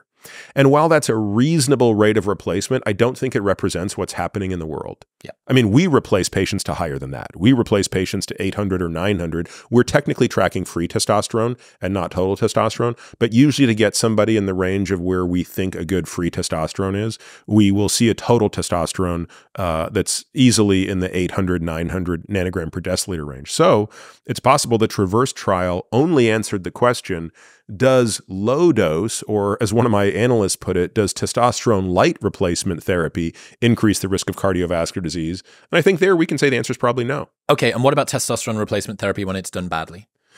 Yeah. So I think if you even think about it in the medical setting, I think testosterone can be given to very super physiologic levels. And I see patients getting super physiologic levels all the time. They come into our practice, they've been treated at some T clinic, and they walk in with a free testosterone of 35 nanograms per deciliter, um, you know, which is like twice what you would consider reasonable. And you know, part of the problem is we don't really know what the long everything goes out the window with what I said earlier. Now, can I say that that doesn't increase the risk of prostate mm -hmm. cancer mm -hmm. initiation? I can't say that because I don't have the data. Can I really say that doesn't increase the risk of cardiovascular disease? No, I can't. It's also, by the way, creating a lot more erythrocytosis. So those people are making red blood cells at an alarming rate, and they need to be monitored very closely for increased blood viscosity. Is is that? Uh, I have a friend of a friend who donates blood every month. yeah, is that that's why? Because they're just making too much and it's too thick. Correct. Wow. I mean, good for the blood donation people. Yeah. And again, the question is if you have to give blood every month, if your bone marrow is so revved on that you have to give blood every month, do we run the risk that you're going to convert into polycythemia vera at some point, which is a disease now where all of a sudden you can't shut that process off? So oh, again, it becomes self-sustaining even once you've come off the TRT. Yeah, again, I, am not suggesting that that's happening. What I'm asking is we don't know, yep. right? And and there's just a, a, big unknown there. The other thing is once you start to get into these super physiologic doses, you start to run into other issues around a lot of estrogen and a lot of DHT. So you'll see these men who are on these super physiologic doses of testosterone also showing up on 5 alpha reductase inhibitors, which we could talk about why I'm not a huge fan of those, and on aromatase inhibitors, which I'm also not a Is fan of. Is that to stop gyno and hair loss? Yes. Right. And um, obviously I'm not I'm not a guy who takes hair loss very seriously, but um, you know I, I think it's a mistake uh, to take a 5 alpha reductase inhibitor for hair loss. I think there are far better strategies if it matters. And um, I think, you know, even though the risk of uh, finasteride syndrome or post finasteride syndrome is low, it's not zero and it's potentially irreversible. And this is, uh, this is, I think, in a young man taking finasteride, again, if you've been if you're listening to this and you you're on finasteride and you have no issues, you're fine. It's something that if you hasn't kicked in within you know six months, it's not going to kick in. But um, we do we do see men who have like a permanent loss of libido. This that's, is reported in the literature. Finasteride syndrome is. Yeah. Okay. So so basically, there's something about blocking DHT that might not be a great idea. Permanent loss of libido would be bad. Um, what what else haven't we spoken about when it comes to exogenously increasing testosterone levels? Fertility. Yeah. Well, there's another thing that I, I think is when you yeah fertility for sure, right? So at um, once you give exogenous testosterone, um, you're going to cut down on endogenous production. including sperm production, and therefore you're going to see a reduction in fertility. And at some point, that's re- retrievable. Uh, and at some point, it becomes more and more difficult to retrieve. So it depends on the person's age when they start and what their testicular reserve is. But you know, generally speaking, two years of exogenous testosterone can spell the end of endogenous production and therefore a lifetime dependency, which again, we do that all the time. Like if a guy is old enough and decides mm-hmm. it's time to go on TRT, we fully accept that. And there's no risk of being on lifetime T for life within physiologic doses. But for a guy who's young, that might be an enormous risk. And, and we, you know, we see this all the time where guys who are doing this in their 20s decide they want to have kids in their 30s and they can't. What else haven't we said about the risks of TRT? Um, I think there's another method of delivery using uh, clomiphene and, and, clomiphene, and clomiphene. And these are drugs that have the advantage of preserving fertility. Uh, they work by inhibiting estrogen receptors in the hypothalamus that trick the brain into thinking you need more testosterone. So now the brain, uh, via the pituitary, starts producing more follicle stimulating hormone and luteinizing hormone, and you end up increasing endogenous production. Um, and uh, again, I, I might be a an unusual skeptic in this regard, but my concern with that approach typically centers around yes, you raise testosterone, but are you getting the full benefits of testosterone? Because I think one of the benefits of testosterone is the benefit in the brain.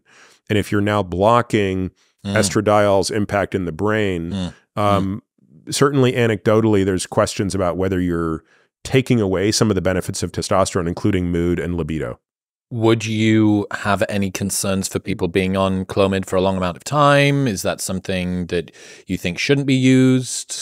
Um, I would feel very strongly about people not being on clomiphene or clomid for a long period of time for another reason, which is it really increases the production of a sterol called desmosterol.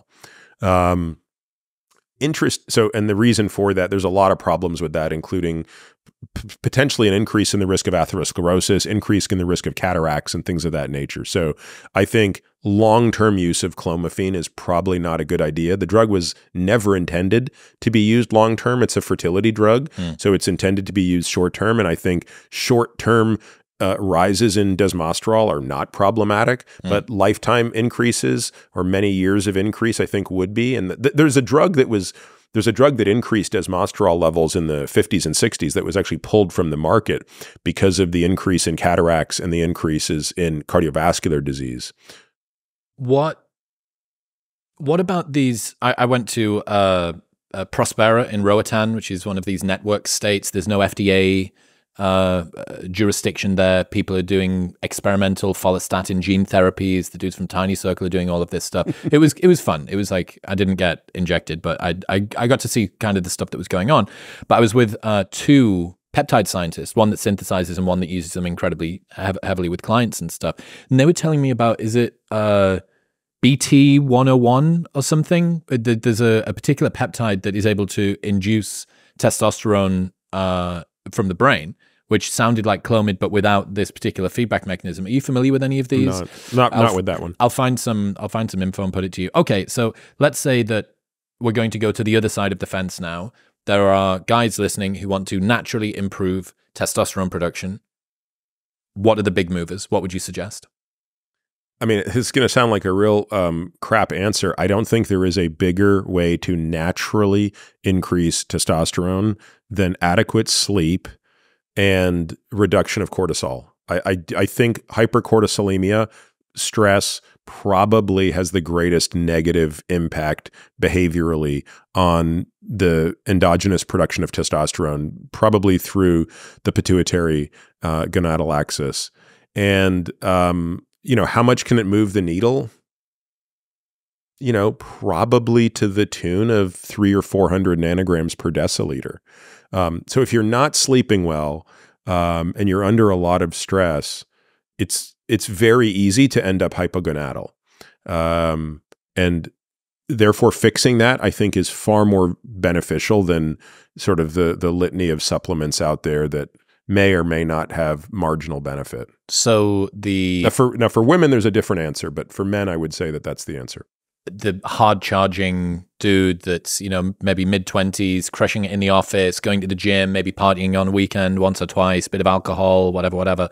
Uh, this becomes kind of vicious feedback loop, which is precisely why men are looking to things like TRT because of how hard they're potentially pushing themselves during the week. Yeah, and I think that you know, so so to that guy, what I would say is, why do you want to replace your testosterone? So let's say he goes and gets checked out, and his testosterone is 300 nanograms per deciliter, which you know probably puts him at the 10th percentile uh, for a man his age. So undoubtedly, that would qualify as hypogonadism. So the question is, do you want to fix that because you don't like the number? And or, or is there a symptom we're trying to fix? And if the symptom is what we're trying to fix, then I would say let's fix that symptom, i.e., poor energy, poor Libido, mood, mood. poor libido. Let's fix that symptom by fixing these other things over here. And by the way, along the way, we might also improve your testosterone. But I, um, uh, you know, again, like uh, I, I guess I don't treat that type of patient. So maybe someone who does is listening to me and saying, "Well, you don't understand." And you know, that guy, even though he's only 24, we're never going to get him out of that spiral if we don't normalize his testosterone. And you, you know, I, again, that that wouldn't be my approach, but I want to be mindful of talking about something I don't do for a living. What about women? Yeah, I think with with with women, we have one more trick up our sleeve, which is DHEA. Um, so again, doing all of the normal behavioral stuff, but it's it's a, it's a little harder to make the connection in women. Um, but but and this is something I actually learned kind of recently because I used to be very dismissive of DHEA because in men it has no effect whatsoever. Um, but DHEA, of course, is what allows for adrenal production of testosterone. And the reason it has no impact on men is if you increase a guy's testosterone by 40 milligrams per deciliter, which is about what you're going to get from adrenal production if you maximize it, you don't move the needle at all. So taking a guy from 300 to 340 is doing nothing. But if you took a woman from 40 to 80, What's a typical woman's range? well, Like it depends woman? by age, and it also somewhat depends on where she is in her cycle. But um, I would say, you know, normal for a young woman might be 60 to 100 nanograms per deciliter. Mhm. Yeah.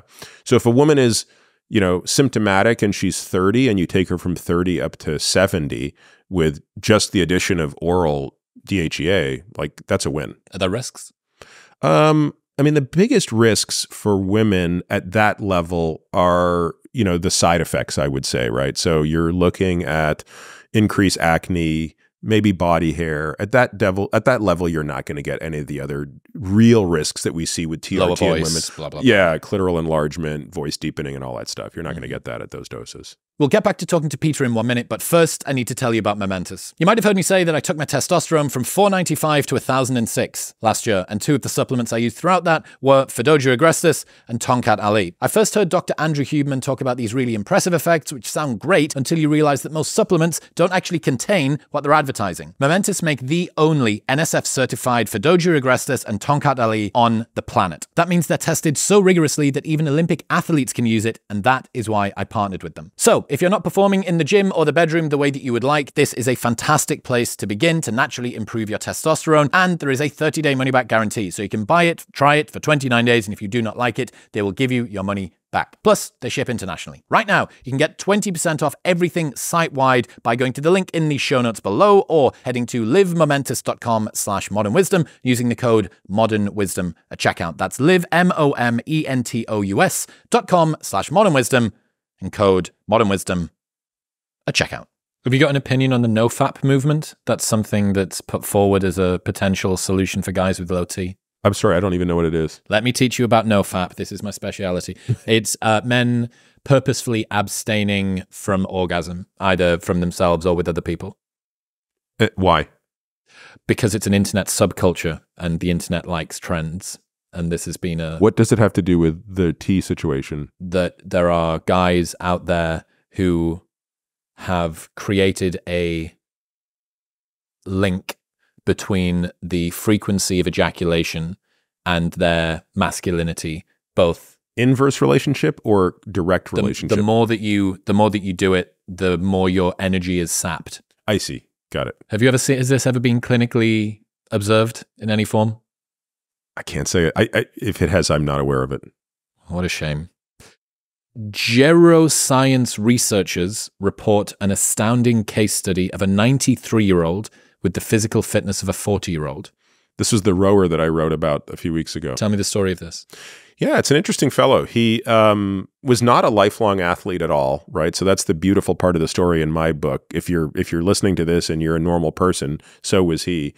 And he just kind of took up rowing, like like classes, rowing classes. You know, you go, you get on a rowing machine, and you just sort of do it. And he just took such a love to this thing and got so good that at the ripe old age of 93, I mean, I honestly, I think his VO2 max, um, I don't remember if it was reported in the article or if we tried to back calculate it based on his times, but I mean, he at least from that perspective from a rowing perspective would have the fitness of a of a great 40 year old now i don't want to re- misrepresent and say that he's a 40 year old because he's not right? He doesn't have the muscle mass of a 40 year old although he does have very low body fat right? So if, if i if i recall his body fat was probably 16% which is outstanding. Is his muscle quality the same as yours? No. Um, you know would his coordination uh, or fall risk aversion be the same as yours? No. But but look the point is when you compare him to another 93 year old, he's clearly functioning at a level that's, you know, in totality, I would say at someone in their 70s. And to me, that's that's the game. Like I'm way more impressed by and interested in that guy than I am in any influencer I see doing any feat of strength, running any like I don't care. Like I don't care what you can do when you're 40. I really don't. I really care what you can do when you're 90. How long was he training for? Decades. I mean, this was not. Oh, so he'd fallen in love with running uh, with rowing at in, 60 in his 60s or something. Right. Yes, exactly. Okay. yeah. Okay. And he'd accumulated this capacity over time. Yeah. So think of him like a guy who, you know, didn't really accumulate much wealth until he was 60 and then Started started investing. investing, but was an amazing investor and a consistent investor and compounded and compounded and compounded. And in his 90s, he's a billionaire. And it's sort of like, wow, how did this guy just become a billionaire in his 90s? Well, I mean, he did all this incredible stuff for the past 30 years. Now, the good news is you can start that at 30 and be a ridiculously fit 60 year old. Mhm. And by the way, you'll be a ridiculously fit 90 year old as well. Yeah, it's it's cool to hear stories like that because I think we've turned such a corner with our understanding of health and fitness within the last even just communication about anything, it's emotions, meditation, history, philosophy, whatever. But there must be a number of people, especially like my parents' generation, who feel a bit miffed about the fact that god, if I'd known this when I'd been able to hold on to my health as opposed to doing it now when I'm in my 60s, that sucks. But you have this example Yep. of a guy who did do that in, you know, what would be considered serious later life, especially for an athletic career to begin or a health and fitness regime, and has shown just how powerful that is. Like that's, I think that's very, it's a very cool story. Yeah, so he's he's kind of like the poster child for this centenarian decathlon I that I love to talk about, right? It's the it's the it's the mental model for what what I train for, what our patients train for, and what we really kind of care about. Give me your thoughts on Brian Johnson and what he's doing. I don't know him. Have you been observing any of the stuff that he's done with Blueprint, with the supplements, with the lifestyle? With, I, I try to ignore it. why? I, I just have no interest. Okay, that's interesting. It seems to me I, I spent a, a little bit of time with him. He's been on the show, and I spent a bit of time with him in um, Honduras. And uh, I think he's kind of like the way I've come to conceptualize what he's doing for certain areas of the longevity movement is kind of like a scout in a, an army. It wouldn't do to have an entire army of scouts, but I'm totally fine with someone doing something kind of experimental and maybe, maybe dangerous, maybe not dangerous, whatever, and sort of going up to the you know the rocky cliff edge and looking out over the top, and then coming back and kind of telling us what they've learned. Um, but I'm both glad that I'm not a scout, uh, and also I don't think it's necessarily in everyone's interests to also be one too. But it's interesting. I asked him a question saying, uh, "Is he afraid of death?" Uh, given that almost everything that he's doing is focused on not dying.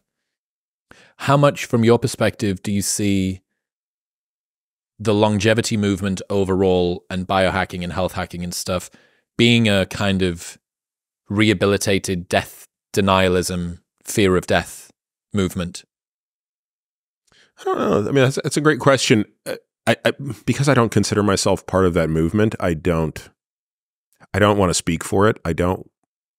I don't really know. Mm-hmm. I, it's probably best to ask those who firmly put themselves as leaders of the movement. Mm. Um, I know that I'm probably just as afraid of death as anybody else. I, I don't want to like represent that I'm some monk here who's so at one with the universe that he can't wait to die.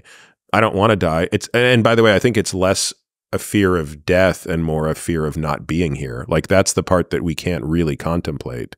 Because um, I don't, you and I don't have a conception. No, nobody listening to us has a conception for what the world exists without that individual in it. That's impossible to fathom. So, um, and the the the you know the older you get, and the more you you know you have a family or things like that, and you fall in love with things outside of yourself, you then realize, well, actually, what would bother me most about death is not being with the stakes family. are now high. Yeah. So that said, I find the I find the focus on death uh, avoidance to be futile and silly. So I don't believe there is any scenario ever in which we avoid death. I am 100% in the camp that says we are all going to die. Doesn't matter how much biohacking you do, we are all going to die. So, can we delay that? Yeah, I think we can. Um, can we delay it by 100 years? Don't think so. Can we delay it by a decade? Believe so but I like to focus on health span, and I think that that's I think that's the the real shortfall of of uh, the healthcare system today is that it focuses so much on lifespan, and it still does a lousy job extending it because it does it at such a low quality. Mm-hmm. But what I think is really good about health span is if you really focus on health span, how strong am I? how much bone density do I have? How good is my VO2 max? How metabolically flexible am I? If you focus on those things, you will get the lifespan benefits along the way. But your but your but the health span piece is actually harder. So focus on that and you get the tailwind of everything else. How long do you think given what we have at the moment, current human physiology, current medical advancements, all the rest of it. If someone threads the needle and manages to avoid any sort of big catastrophes, what do you reckon is the ceiling for human longevity? Such a great question. I mean, we we know obviously to date what the ceiling is, right? Which is just based on the longest lived human, which is probably 123.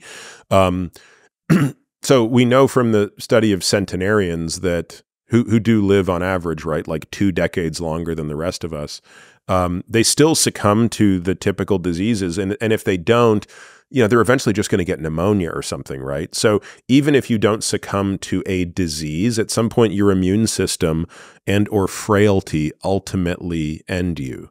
Um, now I'm I am excited about some really cool science that I think can bend the arc of those curves, right? So if you talk about frailty, sarcopenia, and you talk about immune senescence, I think there's some very interesting therapies that will occur in our lifetime that could push those things back tremendously. So, again, I don't give up hope entirely that there's a way to dramatically increase lifespan. Um, but I do find myself troubled by people who think it's going to happen on the back of like this supplement or this goofy, you know, harebrained idea like eh, the the depth of science that is necessary to do that. I mean you are rewriting the entire epigenetic code to do that. Um, like that that to me is the only way you can revert a cell back to its nascent self. So this is not like sprinkling a few yamanaka factors oskms on a cell and just you know wishing that you're going to end up with a stem cell back there. Like, no, no, no, no, no. This is very deliberate cellular reprogramming. And we clearly don't have the technology to do this yet, but I, it's plausible in our lifetime. And then the question is, how causal are those changes? Right? That we don't know yet. We know they're correlative right? So we know what the methylation pattern in the epigenome look like on an old T cell versus a new T cell. But what we don't know is did those changes cause the phenotypic change? And if they did, and they did alone, and we reverse it, do we get a young T cell back again? Yeah, so some super high dose of NMN or rapamycin or p- pick your compound of choice. This isn't going to be able to go in and, and rewrite that code. No, there's no evidence that it will. It's very interesting. Yeah, I um I think a lot about what people are trying to achieve with with the longevity movement. Actually, that's one question. So you mentioned before that eventually people. So what is it? It's funny. I, I I really I don't say this to be naive, but like I don't even. I'm so. I don't pay attention to movements of this mm-hmm. nature. Like, what what is the longevity movement? Is this really sure, a thing? Yeah, I'm pretty sure that r slash longevity is the biggest subreddit for people trying to extend their lifespan. I may have misrepresented them. It may be health span. It may be, you know, there'll be some like very nice synopsis of it. It will be living longer and better or something like that, mm-hmm. right? Uh, but it's a movement of people that are biohackers, health hackers in one form or another, many of whom will probably be massive fans of your work. And, but, uh, you know, so, so again, if it's people who are interested in being healthier, but I, I was thinking more about this idea of like immortality and. Well, I mean, you know, Peter Diamandis has this idea of longevity escape velocity, that for every year that you stay alive, there is an amount of time that you your life is extended because of improved medical stuff and longevity escape velocity is living sufficiently long during this period that's kind of like the dark ages or the back end of the dark ages of medical advancements so that you reach this period where you're actually able to extend it infinite. Sure. Um so that's a question i've got. You mentioned that people in these blue zones or you know people the centenarians super long lives eventually they succumb to something Yep. Is there such a thing as dying of just old age, or is does everybody die of something? Well, look, there are some people who we would just sort of say they just died in their sleep, and there was nothing really obvious wrong. So, yeah, what what, what is that?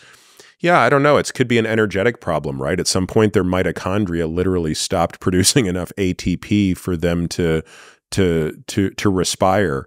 Um, but you know, I think hot death. Yeah, but I think honestly, like I think many of those people are probably dying of a stroke or a heart attack, and we're not doing autopsies on 104 year olds who die peacefully in their sleep. We're rejoicing them. We're thinking, God, I hope I can be so lucky. Yes. Yes. Yeah.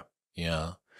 Talk to me about the because remember, even if you did an autopsy on someone who had a heart attack, if you if you didn't catch it and like if depending on how long after the heart attack they die, you might not see any evidence of it in the heart muscle.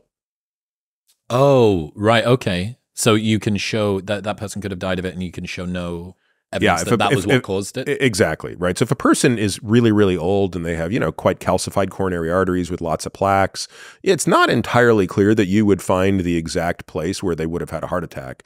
And um, whereas it's more obvious if someone has a heart attack and they live for a while because then you have a beating heart and a piece of heart muscle that's dying and you get a contrast between the two. Right. I see. Yeah. That's interesting. I didn't yeah. know that. And again, like I said, most of the time you're just not doing autopsies on these folks. Talk to me about what you consider to be the basic supplements most people should at least be considering. I'm aware that this is incredibly individualized, but most people want to perform better, have some good energy, do well in the gym, so on and so forth. What are the areas in which most people should be at least looking at supplementation, or the, are, are there any at all? I mean, I think most people probably would benefit from magnesium. So you have to then decide on which which ways to take it. Um, I did a whole podcast on this because it is complicated, and you want to talk about the speed with which magnesium gets absorbed. Are you talking about organic, inorganic? Are you taking it more for performance and avoiding cramping? Are you taking it more for GI regularity? Are you taking it more for cognitive uh, benefits? So all of those would be different forms. I actually take three maybe four different forms of magnesium. So you're I'm keeping track of both the total elemental magnesium I'm getting, but more importantly the form I'm getting it in and how I'm kind of titrating each one to these benefits. And what are you going for there? Um, all of the above, right? So it's it's it's GI function, it's muscle the, function. Which ones types? I'm taking? Yes. Yeah. So slow mag is my favorite for uh, as its name suggests, slowly absorbing magnesium. So, you know, minimizing any PVCs and cramping, basically. For a person like me who's very active, sweats a lot, you know, live in Austin. uh, yeah. Then I take uh, magnesium uh, oxide, which is kind of more the GI version of that. And then I take magnesium L-threonate, which is the cognitive part of that. So that's the one that gives you better cognitive absorption. I'm trying to think if I take a fourth one. I probably have some magnesium and something else I'm taking, but those are the big three. Okay, magnesium Yeah. Uh, creatine, monohydrate, at five grams daily. In I usually again, I don't think it matters when you take it, truthfully, but the most predictable and routine time for me to take it is during a workout. So just mixing it in with electrolytes and water and put drinking it, put it in with something else that you're already drinking. Exactly. Yeah. Otherwise, I'll forget to drink it. uh, I can't remember. Was it? I think it was Tim Ferriss who was talking about uh, some benefits from much higher doses of creatine, ten to twenty grams a day. Have you looked at any of this? Have you seen any of this stuff? Uh, yeah. I mean, look, when I was a kid, that's how you dosed it. You would load it. You would do 30 Loading dose. grams a day for a week. And How then many? go 30 grams a day for a week and then down to five a day. Now, uh, my last look at this literature said that was not necessary at all. And taking five a day, you'll very quickly get to your saturation levels and you're totally fine. Is there a size of human for whom, if you're 260 pounds, should that be a little bit more? Yeah, possible. I, I, I, and if I you're mean, a 120 pound woman, 110 pound woman, maybe would you keep it at five? I- I mean, I do, and and the only time I sort of tell people to dial it down is if they get GI upset from it, which some people do. Okay. Magnesium, creatine. Um, I think a lot of people probably could use a little bit of help with methylated B vitamins, Mhm. maybe some TMG. Um, again, I What's, what's TMG? trimethylglycine, which is um, basically we would use these to titrate homocysteine levels. So if a person's homocysteine levels are elevated, um, you can basically get their homocysteine levels normalized with methyl B vitamins. Now, there we don't really have I'm trying to think. We have one study that speaks to the efficacy of that for brain health. Um, but by but but we're what we're doing is using a proxy, which is we know that homocysteine levels, when elevated, play a role in at least two diseases, right?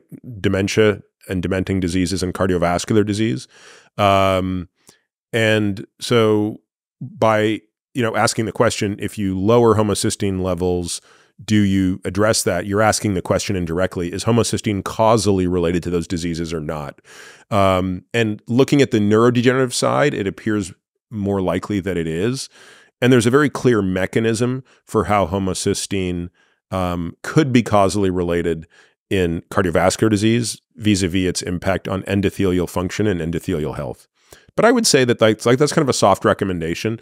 Um, I've got one copy of C677T I, or whatever. I, I, I, you know how many people I've met in my life who have the wild type for both MTHFR genes? And you have to keep in mind how many people I've looked at in the past 15 years. Yep.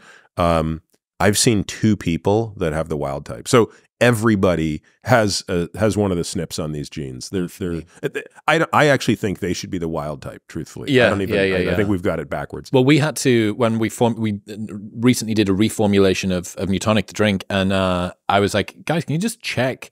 We're using natural folate for this, right? And they're like, yeah, we are. And I was like, we're using methylcobalamin, right? We're using methylated B12. And like, yeah, we are. But you, you just don't realize how many, especially if you are thinking about homocysteine levels, if you're thinking about how you're taking B vitamins, and you're not thinking about that. It's just totally not. Oh, this could be like folic acid, or this could be the non-methylated version of Right. of the B vitamins. Really interesting. Um, I take Theracurmin. What's that? It's Like uh, activated cumin? Curcumin. Yeah, it's basically a, a, a more liberated form of curcumin, so more bioavailable. Liquid No, capsule. capsules? Yeah, Okay. What Uh, dose? just more expensive. uh, good question. I don't. I don't remember the dose. It might be 300 milligrams, but I'm not sure. okay. Um, you'd, it's amazing for how often I'm asked this question. You'd think I would know this better. Um,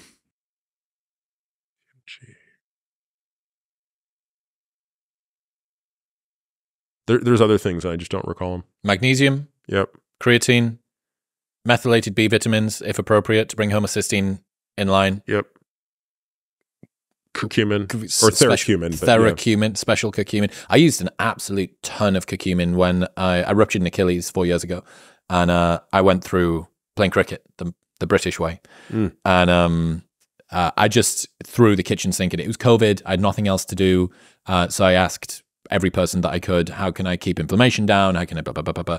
Uh, So uh, TB five hundred, uh, BPC one five seven, every tart cherry juice, like any waving sage over the top of it, making an incantation at the full moon, all of that stuff. I did all of the things, and uh, the recovery was actually actually really really good. If anyone ever considers blowing out their Achilles, doing it during a pandemic is actually a really good time to do it because there's nothing else to do. and I grew it back nicely. It's probably the injury I'm most afraid of.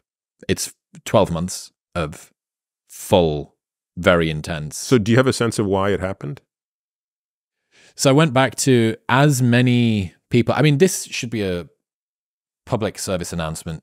If you used to play a sport when you were in your teens and you're now 35 or something, and you think, I'm going to pick that sport back up, very, very slowly reintegrate it. The number of friends that during their teenage years played basketball and then decide to go and play basketball now that they're 34 and they've spent the last two decades gaining muscle in the gym and they're nearly twice as heavy as they were when they played this. And within the first couple of games, they blow out an MCL. The number of friends I've had, it's like a list of friends that have done this just in my friend group. Uh, and for me, I was did one training session to play cricket. Performed sufficiently well during that session that I got invited to play on the Saturday, and then with a very limited warm up, as normal sort of club cricket is, uh, stepped out to bat and was having so much fun. It was great. The sun was shining. My dad was over the far side. We slowed the halt of wickets that we were losing. And I was like, this is the first time I've picked up a bat, apart from the net that I did on the Wednesday. This is the first time I've picked up a bat in over a decade. And I'm like 35 not out. I'm playing really good shots. And I just pushed a single through the covers on the right hand side and set off to run. And then as I, I felt something weird. Did you the- hear it? no, Mm. but there was shouting at the same time uh, from the, the players on the, the fielding team. And then as I went to put my right foot on the floor, it was like if you tried to step on a, an inflatable waterbed on water and it just went like that. And then the bastards ran me out. So while I was laid on the floor like this in the middle of the, in the middle of the pitch, they went and picked the bails off, which meant I didn't get like a uh, whatever it is an injured like DNC did not complete or whatever. Uh, they actually ran me out, which was uh, fine. That's okay. Uh, I think the reason that it would have happened was we'd done shuttle runs on the Wednesday. I wasn't doing a massive amount of like high plyo stuff, and then when I set off, you're wearing spikes on a very hard uh, surface, and it's digging into packed dirt, which is Mhm. what the strip is that you're bowling on. And I pushed this shot through the covers and then set off with my back foot. Heel would have been a little bit off the ground, so calf would have been lengthening as I'm contracting, and then it would have just hit the floor and went. And that was me for, you know, 12 months, uh, 13 days, and then got. Uh, Did you have so- a complete tear? yeah, full detachment. Mm. Full detachment. Yeah. So got carried back over. And I knew within three seconds, I was like, I think that's what that is. And I just, I didn't know enough about it. If I'd known more about it, I would have been more scared. Um, but on the flip side of that, my uh, calf strength now and mobility, I've got really insane dorsiflexion. But for anyone that does do it or anyone that's done it recently, yeah, it's going to be a long rehab, or if you if it happens in future, it's going to be a long rehab and it's going to suck, and you, you're going to feel a little bit unhappy about it. But my function, strength, power, everything is back to where it was, including muscularity. So if you looked at my You're totally symmetric. I overshot it on my right, on the one that I busted, and then had to go and do more work on the left because I built that one back up. And um, yeah, I, I think good rehab plan, take your time getting back to it. And within 12 months, you'll be doing everything that you were able to do. And within two to two and a half years, you won't know that it's there. The only way that you can tell is if you look or if you give it a squidge because it's, it's a, like a girthy, it's a girthy boy now. Yeah. But um, one of the things you haven't mentioned is omega 3s. Oh, thank you. I do take that as well. I'll keep you right. Um, talk to me about Anything else I should be taking? Because you're going to Yeah. remind me. um, uh, Rhonda Patrick was on the show. Big on omega 3s. Yep. Really took me through some interesting stuff to do with uh, ethyl esters versus uh, the reactivated version. Yeah, yeah. Tell Some- me, I used to know this, and I have, I don't know it anymore. What are you taking? I take Carlson's. Um, I think there are a couple of brands out there, Nordic Naturals, That's Carlson's, what I'm using. To the that are 2X. that are pretty good. I, and I've gone back and forth with them, and then we, you know, you test your levels to kind of see Yeah. where you're getting the most bang for your. Um, by buck, I don't mean dollar, but how many of the things, how many of the horse pills you have to take. Yep. Do you know Uh, how many you're taking per day? I take three of the most potent one that they make, Yep. which I think is called Elite or Supreme or something like that. Whatever the most expensive one is, It's, presumably. yeah, but it's got the most EPA and DHA in it. Are you and- timing that particular? Is it with a fatty meal? Um, yeah, I, I, I mean, because I'm my compliance is the most important thing. I have an AM and PM slide of of things that I take. So I think I take one in the AM, two in the PM, or maybe it's the Mhm. reverse. Mhm. Um, so, but the the point is, I just know what I'm. I used to take two and two, but I've titrated it back a little bit. So I'm doing it based off what the EPA and DHA levels are in the red blood cell in the membrane, Yeah, yeah. It's uh, and I'm sort of trying to keep it between ten and twelve percent. it's just for me, cooking seafood at home is so rare. Like it's the it's all of the other thing, red meat, ground beef, even liver is more likely to do that than for me to actually think, oh, I should buy salmon, and I should. It's just one of those things that kind of doesn't really appear to me. And I often try and do it when I go out for food. One thing I've fallen in love with over the last year is oysters, dude. I love oysters now. I've become this is what being an adult is. You drink coffee and you have oysters. Um, but I really enjoyed that. But at home, it just doesn't factor. So for me, supplementation when it comes to that, I think is probably really important. I think so. One of the other things that people are quite obsessed about at the moment is water quality. How long of a lever is this? How much should we care about water quality and what it's being transported in and stuff like that? You know, I think it probably depends on where you are and what the risk of contamination is. Um, uh, you know, I mean, I think I take reasonable steps to ensure it, but I'm also not so obsessive that my life spirals out of control around it. Now that said, I mean, we have we have a couple of reverse osmosis filters in the in the house. AquaTrus? Some sort of- Um, I don't know, but I know that they meet the standard for filtering out all PFAS. So there's a there's a filtration standard that you have to go by, and Is it plumbed in or tabletop? Uh, they're plumbed in. Cool. Yeah. Yeah, that's cool. Yeah, so it's easy peasy. So all Change it once every six months or yeah, all water bottles are you know we use glass water bottles. They're all filled out of those things, and you know the coffee pot gets filled out of that thing. So the only water I'm drinking out of the tap that's not that is in the bathroom when I'm brushing my teeth, um, and taking my pills before bed or whatever. Um, so I don't think I obsess over it. I you know I I think that the two most important things you can do to avoid PFAS from a drinking perspective What's PFAS for the people that don't know? yeah. So there are these chemicals in plastics typically that um, I think we could make a safe case for um, having negative health consequences. Um, now they're also found in things like Teflon and fire resistant, you know, clothing and things like that. So they show up in other areas. But for most people, the the dominant exposure is through drinking um, water in a plastic bottle um, or contaminated city water if you drink it. And you know, I haven't had our water tested, but I just sort of assumed like, why bother testing it? Why don't I just put the filter in that gets rid that is known to get rid of it? Mm.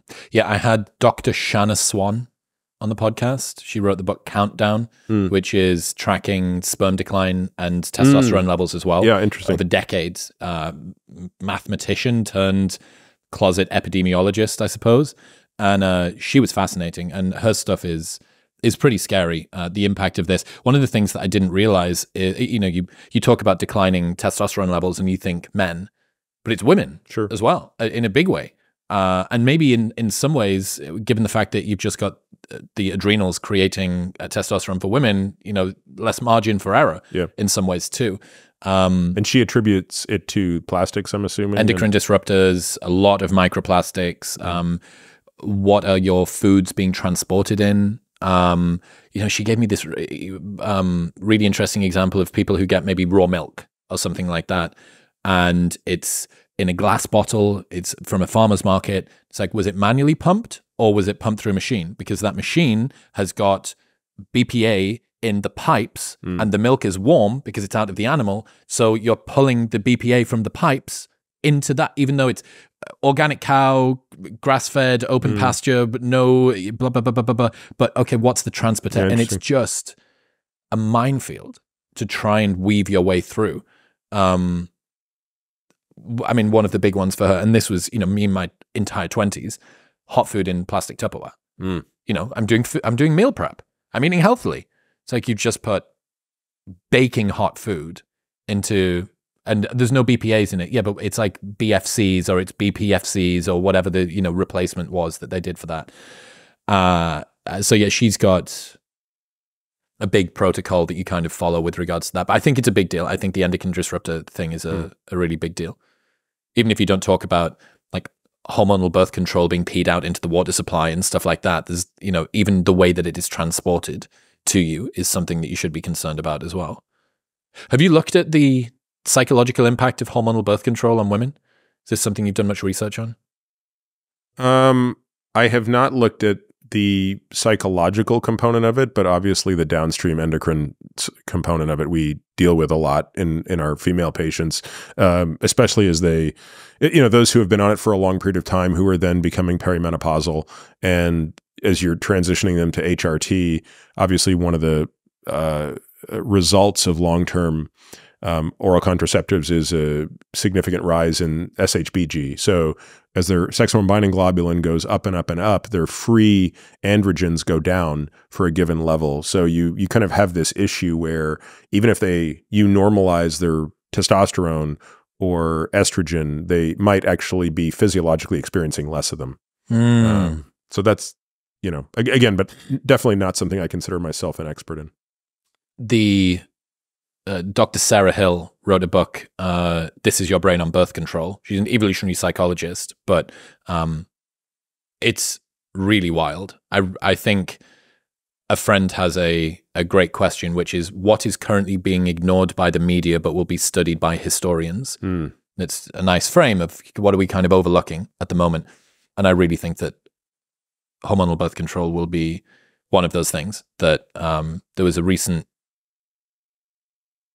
Scandinavian study that looked at, you know, we've got this declining female mental health problem, especially among young girls. Like 40% of American teenage girls have persistent or regular feelings of hopelessness. Sure. It's like this real macabre, apocalyptic sort of language. And um, I always ask this question because I had Jonathan Haidt on the show and he was uh, social media and comparison and blah, blah, blah. But I was like, has anyone factored in the base rate of what increasing levels of hormonal birth control usage has done to like how much can this be contributing and this And has that changed significantly since 2010? maybe that's that's what needs to be looked at Yeah. but because that's really i mean i think the argument in favor of jonathan's argument is that when you look at the total takeoff or nosedive if you will of mental health for especially girls Mhm. it, it coincides really perfectly with the exact introduction of you know tiktok uh, not tiktok but instagram smartphones and and and social media so Uh, unless there was a different so the- type of birth control yeah so the question is would there, was there also so one um, a birth control change. great question uh, i think i don't think that there has been a change i think it's at anything it's going to be kind of like just a steady linear adoption of of these of these drugs but what you don't know is is there some sort of predisposition some sort of psychological uh, um, raw materials that are more susceptible? Is this being able to magnify the effect Mm. of social media of social comparison? Uh, and dr sarah hill's works so i mean it's fascinating. The, the change that women have in the kind of partners that they go for both on and off of birth control uh, the um, level of testosterone that they prefer in a man's t-shirt. At the same time the libido and the sexual uh, not only libido sorry uh, their level of sexual satisfaction with their partner which also is indicative of partner choice and how effective that is. And I mean, uh, you may or may not have heard these stories, but so many stories of women who get into a relationship with their partner when they're on, get married, decide that they're going to then have children, come off, and are like, I'm not really that attracted to my partner anymore. You know, they sort of exit this hormonal fugue state Hmm. and their kind of eyes are open. And it's not a comment on their partner particularly, it's just that they're in a, a very different hormonal profile now and what they find attractive is, has changed an awful lot. It's wild. I mean, the research is is really, really interesting. Interesting. Yeah. I'm totally unaware of that side of things. What about sun cream? What's true about the safety of sun cream? I hear a lot of demonization of it, that it's dangerous, that you can put it on your skin, that it gets absorbed, that it turns into all of these things. But then also skin cancer, not good. What's your position on sun cream? Uh, I'm in the process of learning an insane amount of this for a podcast I'm doing. Okay. So I would I would say I have my thoughts now, but they're they're going to be updated by you know a team of PhDs. Check And, out the uh, drive in three months' time. exactly. When when we get to do our AMA on this, we're going to visit really two questions that are both going to elicit a ton of controversy. So the first is how clear is the uh, role of the causality of sun in melanoma? So again, that might seem like a Mhm, stupid mhm. question to ask, um, but the answer is not entirely clear. Um, so, what is it about the sun that increases the risk of melanoma? Is is the risk of melanoma increased, for example, in sun exposure that does not result in a burn, or does it have to result in a burn? Does it have to result in a severe burn? Does it have to result in a burn during a certain period of your life? All of this is unclear. Um, it's a lot more clear the relationship between sun and basal cell carcinoma and squamous cell carcinoma. I don't know what that Th- is. They're two other types of skin cancer, but they're non-lethal because they can't metastasize. So, you know, to be afraid of skin cancer really means to be afraid of melanoma. That's the one that can kill you.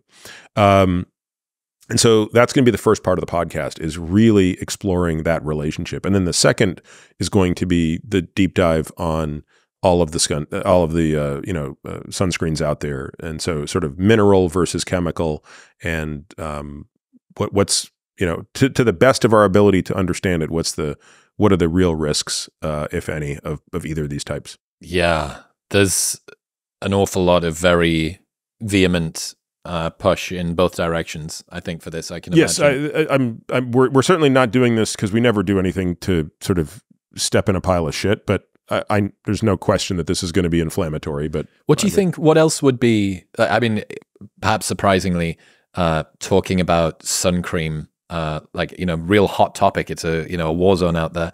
What are the other uh, really spicy areas that you might not have thought about? You start talking about pollen or something, and it- it's it's a, a, a real war zone. What is that? Um, I mean, anytime I talk about lipids and heart disease and uh, dietary fats and stuff, anything to do with diet, that's always that that, that always tends to be quite inflammatory uh, because, of course, you know, anything that's diet related is sort of very tribal and and religious. Um, I think HRT is a somewhat polarizing topic, though less so now than when I started talking about it. You know, when I really started talking about HRT, um, most of the medical establishment viewed it as bad and dangerous. And I think more and more the doctors are coming around to realize that, you know, the Women's Health Initiative was such a flawed study uh, that it's, you know, responsible HRT is a great thing for women. Um, uh, what else is really controversial? Look, I think uh, you know vaccines. I did a I did a I interviewed a guy named Brian Deer, and we went deep down the MMR causes autism claims, and that's obviously a very polarizing and controversial topic. Mm, what did you find? Uh, I can see absolutely no evidence that the MMR vaccine is linked to autism, and instead, I see an incredibly fraudulent guy in Andrew Wakefield who committed, you know, literally scientific fraud to um, confabulate data to to make that case, uh, and it's an awful shame. Uh, like I'm not going to sit here and tell you that all vaccines are are great or that every vaccine is without risk. That's that's not the case. Um, but the MMR vaccine is a very important vaccine. That's a vaccine that saves an unbelievable number of lives and an unbelievable amount of misery in children. Um, and it's a vaccine that's targeting a particular uh, set of viruses whose viremia is indeed driven by the exact mechanism by which the vaccine works. In other words, there are certain vaccines where vaccination actually impairs transmission, right? That clearly wasn't the case with COVID. Mm-hmm, mm-hmm. Um, so you could always make the argument that there was no public reason, there was no public health reason Yep. to Yep. vaccinate people with, against COVID. It was a it was- Individual. It was, an individual reason. That's not the case with MMR. The nature of how the virus spreads is indeed impaired. You've got kind of a tragedy of the commons type thing That's right. going on. Yeah. So, um, and again, I mean, th- just the entire topic of vaccines is so controversial. But Was it this controversial five years ago? Do, are you aware? no, I, I mean, this particular topic was for sure. MMR, MMR has autism. always been has always been vaccines overall. It seems like there's you know like vaccine skepticism. Well, now generally. now I think it's been amplified, right? So I think that the CDC uh, did itself absolutely no favors. didn't shower itself in glory. No, the the way they handled everything around COVID has made it um, has actually done a disservice to I think vaccine science and um, It must be absolutely infuriating if you're a vaccinologist or trying to work on these, you know, life's work, genuinely Yeah. tr- tr- trying to do things to make people better, to avoid illnesses, to, you know, like eradicate disease. And then for the CDC to shit the bed in such a huge, and, and uh, not just the CDC, obviously, uh, in such a huge way that well that that that anything in medicine becomes political is a tragedy, and it's you kind of would want to believe that medicine would be the last thing that could be political, but you know, just two weeks ago, I wrote a piece with our team for the newsletter about something that I never imagined could happen, which was the American Heart Association deciding in what is clearly just a political kind of woke agenda that race will no longer be considered a risk factor in cardiovascular disease. So they're taking race out of risk calculators. Now, you know, in their defense, I suppose their argument is that, well, race is a proxy for socioeconomic status. So, uh, you know, but what they argue is that race is a purely social construct with no genetic component. And this is just patently false. Um, and the, you know, I could have written 10,000 words on this with all of the counterexamples of where race is indeed a genetic construct and with it come risks and why we would deprive ourselves of a tool that allows us to better risk stratify people uh, just makes no sense to me, regardless of your political ideology. So, unfortunately, to see that medicine is also becoming corrupted by ideology is um, is very sad, but not surprising, I suppose. I had this idea of toxic compassion. So the prioritization of short term emotional comfort over everything else. And uh, it, w- the ground zero for this would be uh, body weight has no bearing on health and mortality. Um, well, you know, you don't want to make people who are overweight feel upset. You don't want to sort of activate in them this sense of, oh, maybe I'm not, maybe I'm going to die sooner or whatever. But by not communicating that to them, they're literally going to die sooner.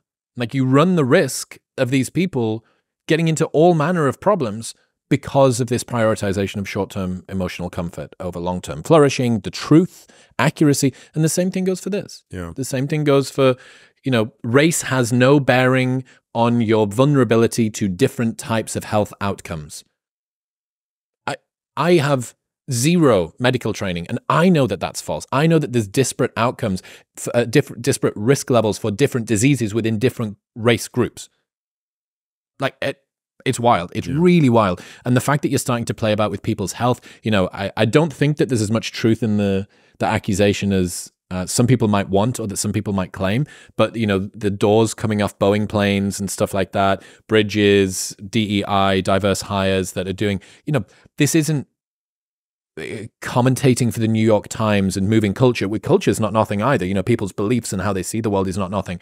But when you're talking about medicine and airplanes and bridges and going to space, that's you're really crossing a threshold there. The yeah, world. science and engineering really needs to be free of of anything that that puts merit anywhere but at the top and and perfection of knowledge.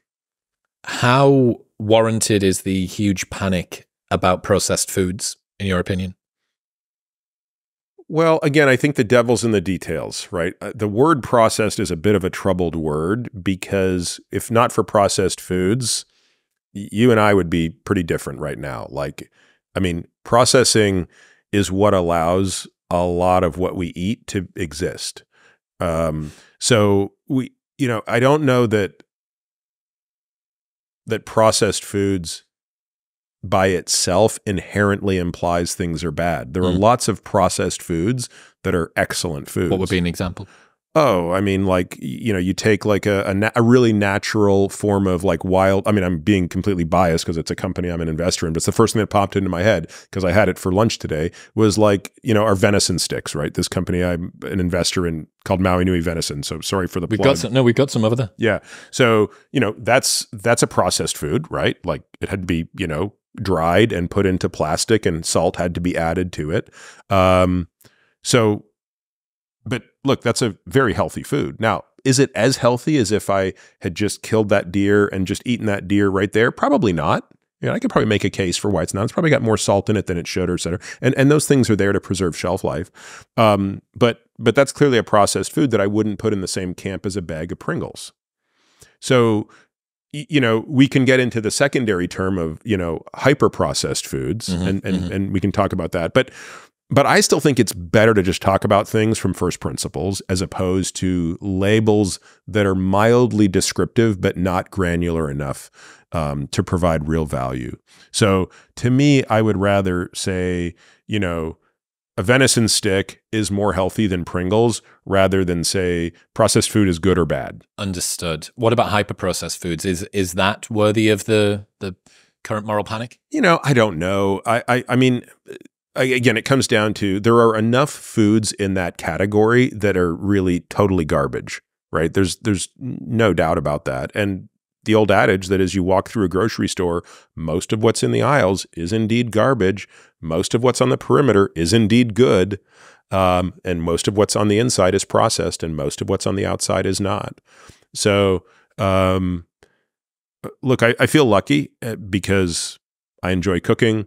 I have the means to do it. Mhm. I don't have to rely on processed foods because, again, you know, one of the things that makes processed foods so appealing is not just the taste, but it's the Convenience. convenience and the caloric density per unit dollar, right? You can get a staggering amount of calories per unit, uh, uh, you know, monetary unit um, at a great convenience, right? It's uh, so so.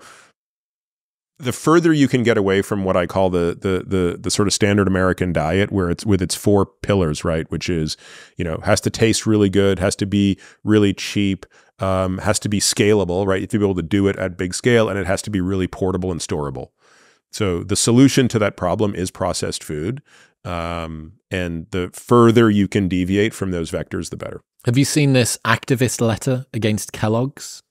So the guy called Jason Karp, Bill Ackman, um, signal boosted this a couple of days ago. Uh, this dude called Jason Karp filed an activist letter against Kellogg's, demanding that they stop selling what he calls inferior versions of the product in America. Th- There's uh, red 40 and blue 1 and yellow 5. There's specific colorants Mm. that uh, exist. And there was this comparison chart, and you had uh, what's in the Canadian version and what's in the American version. And, in the, why is it different? according to him, um, because it's not being enforced, that there was a request made or that. Um, So Canada stepped up and made a request for a better product. I, I, it, it should have been done based on what I know. It should have been done across the board. Kellogg said that they were going to get rid of these things in America, but they didn't. And it seems, you know, all manner of conspiracy theories then ensue. They're in bed with the FDA. Uh, someone's being given a backhander. Um, this is indicative of America's total blase, careless nature with the food that is being consumed by their, you know, pick your uh, explanation of choice. But it seems that there are certainly uh, colorants and some other um, ingredients, compounds that are in specifically Kellogg's But let me ask a naive question: like, what Kellogg's product would you consider good for you anyway? Like, what Kellogg's product should we be eating? I don't know. I don't know. No, I'm not even asking rhetorically. I just don't know enough about their products. But like, Well, it would be cereal. You know, a lot of children having these Froot Loops and stuff like that first thing in the morning. yeah, I mean, again, I, I would, I, I don't mean to sound like a cranky old guy, but why would we want our kids eating Froot Loops in the morning? Like, it, I mean, again, it, I know I just a moment ago said, well, I it sounded like, oh, maybe he's waffling on processed food, right? But I'm not waffling on a particular food. Mhm. Like, there, you know, Froot Loops might be a treat, like for dessert, but like, on, on, on what Starting your day planet like would that. you say we're going to start our day with candy? Because that's all it is. It's just candy that you add milk to. You've got kids. Yeah. What do you, for the parents out there, they oysters and coffee, sadly, for breakfast, probably not going to happen.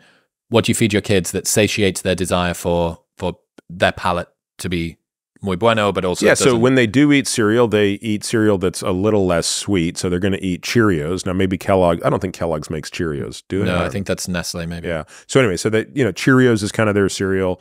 Uh, you know, they'll put berries in it, yogurt, applesauce. Again, processed, but it's you know, you can get an applesauce that literally has the only ingredient as apples, right? um, and that's that's what they eat. Um, Is that eat- typical breakfast? What's a typical Yeah. breakfast? Oh, bacon, sausage. Like they eat venison, um, eggs. Like we make them little, you know, like ra- egg wraps, toast. You know, again, like it's not like I'm, I don't want to paint the picture that my kids are these little organic vegan Biohackers. machines. Like Yeah, no, no, they're, yeah. they're but but again, like what I just described is, I think a, a far healthier breakfast than you know eating pop tarts or eating uh, What do Fruit you- Loops. What are you actively trying to avoid there? Sugar? Um, yeah, I mean, I, I, do think we try to be mindful of sugar and crappy junk food and just limit when they're going to have it and how much they're going to have. Um, so my kids, by the way, I mentioned it a minute ago, but my kids love Pringles. So they can have some, but they're not going to eat like this many of them, right? They're going to have that many of them because we buy like little mini packs of them, which are not cost efficient, but like we're not optimizing for that, right? We're optimizing for a small Titrating serving size where it's like one and done, and dad's not going to eat it. There's this. Uh, yeah, that's true because once they've opened it, it's now Yeah, if there's a tube of Pringles, like I'll eat it. it's the trickle down effect of right. Okay, I didn't think about that. I didn't think about the fact that if you get your kids something that they like, that's also something you need to deal with now being in the house. It's so interesting. I um. It's also sometimes you just go out for stuff as opposed to keep it in the house, right? So uh, like you know, we we went out out, for ice ice cream. Yeah, we went out for ice cream the other day, and it's better because you just go out, you get it over with, you're done, you come home. But to have ice cream in the freezer every day would be a problem for me. yes, I need uh, geographic distance is the best discipline uh, for me when it comes to diet. What about? Is there any truth, or have you looked at dysregulation that comes from Wi-Fi networks and AirPods and stuff like that? Have you have you looked yeah? I've looked into this a little bit. I got to tell you, I don't buy it. I I mean, I if if there is a signal, it's a really small signal. I think this is a bit of a majoring in the minor and minoring in the major problem. I am amazed the number of times like I'll put up a post on Instagram where I happen to have my AirPods in and I'm I'm giving a post about something meaningful like you know here's an interesting you know thing that you ought to think about for exercise and there's always 10 people that chime in I don't even know if I can follow you anymore. The fact that you're wearing, you know, those AirPods. And I'm like, first of all, I don't care if you follow me, so please unfollow me. But like, what is it like to go through life so stupid? Where you actually think that that matters more than the fact that I'm trying to explain to you something that is an order of magnitude more important for your health. Like, and I just feel bad that like there are people, again, it's just, it's majoring in the minor and minoring in the major. I, I don't know. There is an obsession. There seem to be certain areas of health that people love to lock onto. You know, the specific type of artificial sweetener that goes into a beverage. The, the the ionizing or non-ionizing radiation that's coming out of your AirPods, the the Wi-Fi signal, 5G towers that you live near, and bits and pieces like that. Meanwhile, show me your deadlift. Right. Or, Show me how fast you can row a 2K. Right, exactly. Yeah. Like, why? Do you do you know your ALMI and your VO2 max? And Layne Norton and I had this discussion once on the podcast, which was like, you shouldn't be allowed to even comment on these things on social media until you do 100 push-ups. Like literally, before you type it into your phone, do 100 push-ups and then get up and then you can type your stupid comment about my AirPods or about this sweetener or about like just like get it right. Get your boulders in place first, please. Layne uh, continues to just pick fights with people on the internet. I'm, I don't have the um, constitution to do what he does, but I love watching him just go to war. And he's in the comments and he's fighting back in the comments. I'm like, hey, man, fair fair play. That's not my bag, and I can't do it. But yeah, he. Uh, yeah, I, I avoid the comments at all costs, but I and I rarely even look at them. Right. So, but but every once in a while, like someone will like my team loves to send me the most ridiculous comments. Um, you should put them up. You could pin them on the board and have like a, a wanker of the month, a wanker of the week. there we go. You can have that one for free, Peter's team. Um, but yeah, the it's so bizarre the things that people hook themselves into. Very particular. It's it's it's like an obsession, and that's the thing. That's the thing. It's all downstream from sweetness. It's all downstream from whatever. And you're like, dude, I feel like you probably sleep five hours a night. I think that you probably haven't processed. I mean, you definitely haven't processed many of your emotions because I can see it. It's pouring out of you, your fingertips. Yeah, I, I, have a friend who is so obsessed with these, what I just basically call conspiracy theories of health.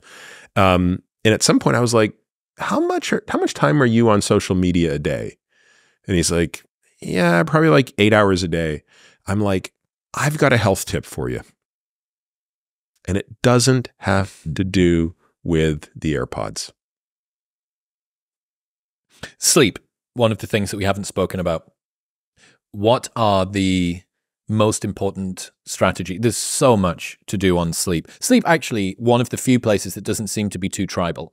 Uh, you know, like just sleep more. Maybe some people will argue whether you need to have magnesium L-threonate or activated charcoal or whatever, whatever, whatever. What are the most important strategies when it comes to sleep quality? Uh, probably regularity of schedule. So, you know, the closer you can be to going to bed and waking up at the same time every day, that's great. Uh, duration, so leaving room to sleep for a sufficient duration. So, in other words, you can do everything right, but if you're only going to give yourself six hours from the minute you get into bed until you have to be brushing your teeth in the morning, you're only going to get so far. Um, then there's obviously the hygiene that goes into sleep. So, temperature, darkness, uh, and stimulation before sleep. So what what are you doing to get your brain ready to sleep. Again, I always remind people there's sort of three factors that are driving this, right? So you want adenosine to be climbing as high as possible. You want melatonin to be climbing as high as possible, and you want cortisol to be plunging as much as possible. So what do you what, what do you have to do to make those things true? So to make adenosine go up, you have to be active right? Like adenosine is the byproduct of activity. So the more active you are during the day, the more your adenosine levels go up. And then you have to say, you have to, you know, put that down, right? That's a sleep signal. Uh, melatonin is driven by light, but again, you have to have the right circadian rhythm. So you have to be getting the right time and doing it at the same time over and over, again, which is why when I was talking about my travel schedule, I have to force exogenous melatonin into the equation because I can't rely on the external cues. But that's why I don't want people taking melatonin regularly. I want them relying on the natural way to get it.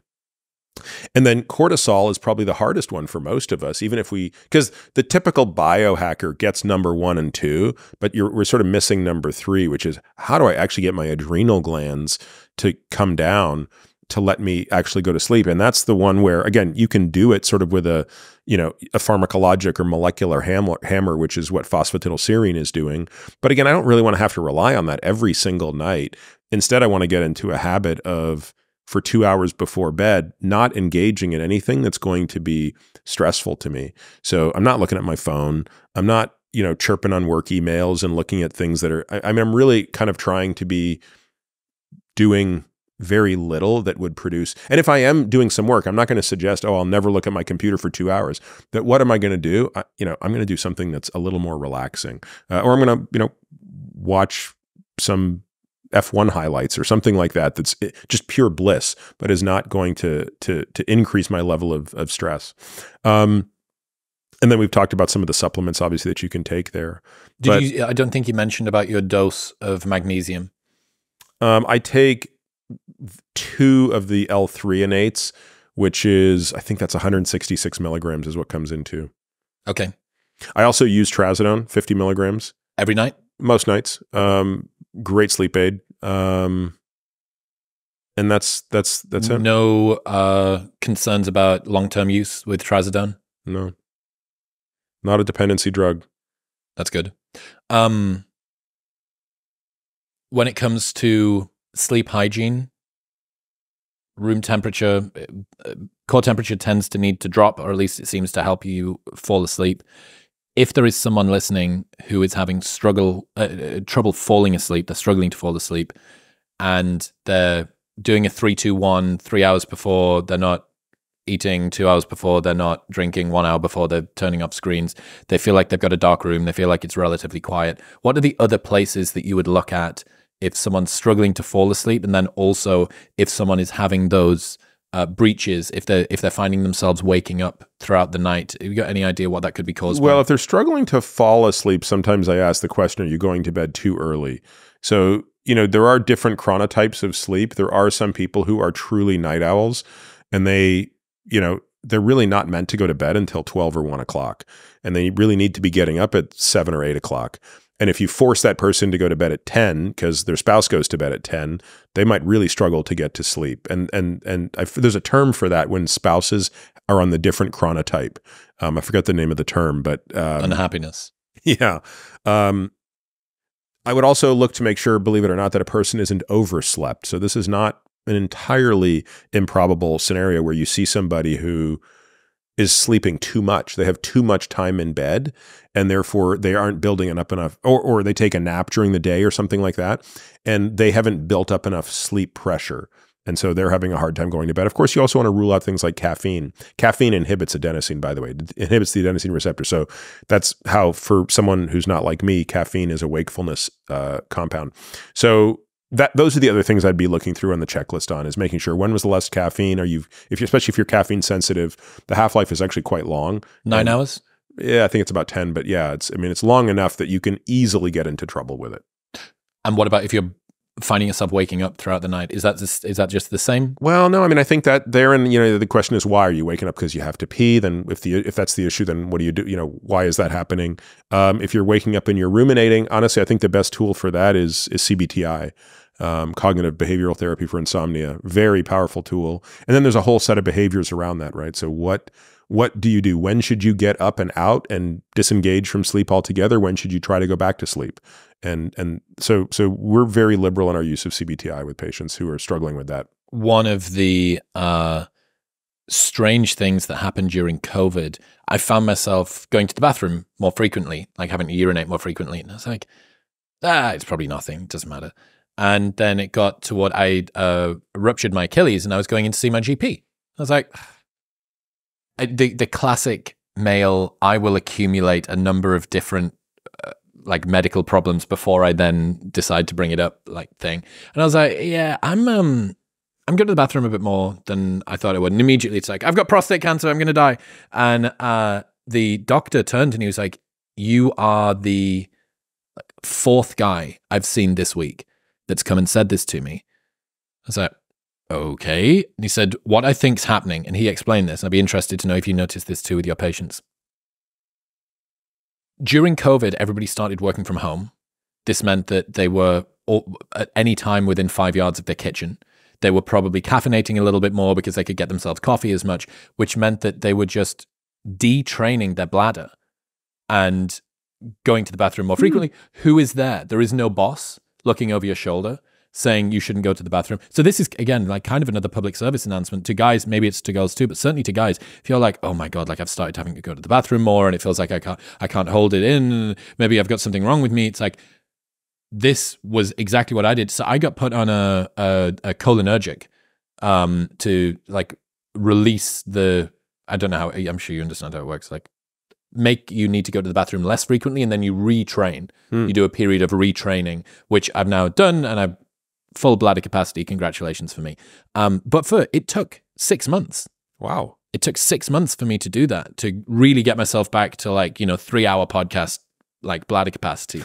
Um, my business partner came over, my then business partner in the nightlife stuff, and I had my leg up on my thing because I was in Achilles recovery stuff, and we had a ninety minute meeting, and he went to the bathroom when he arrived, and he went to the bathroom an hour later. And I was like, he came back in, and I was like, dude, I don't mean to pry here, but you've been uh, you going to the bathroom a little bit more than you would usually? He's like, yeah, I'm really worried about it. It's like, I think I know what's happening, and uh, sure enough, he did. He did exactly the same thing.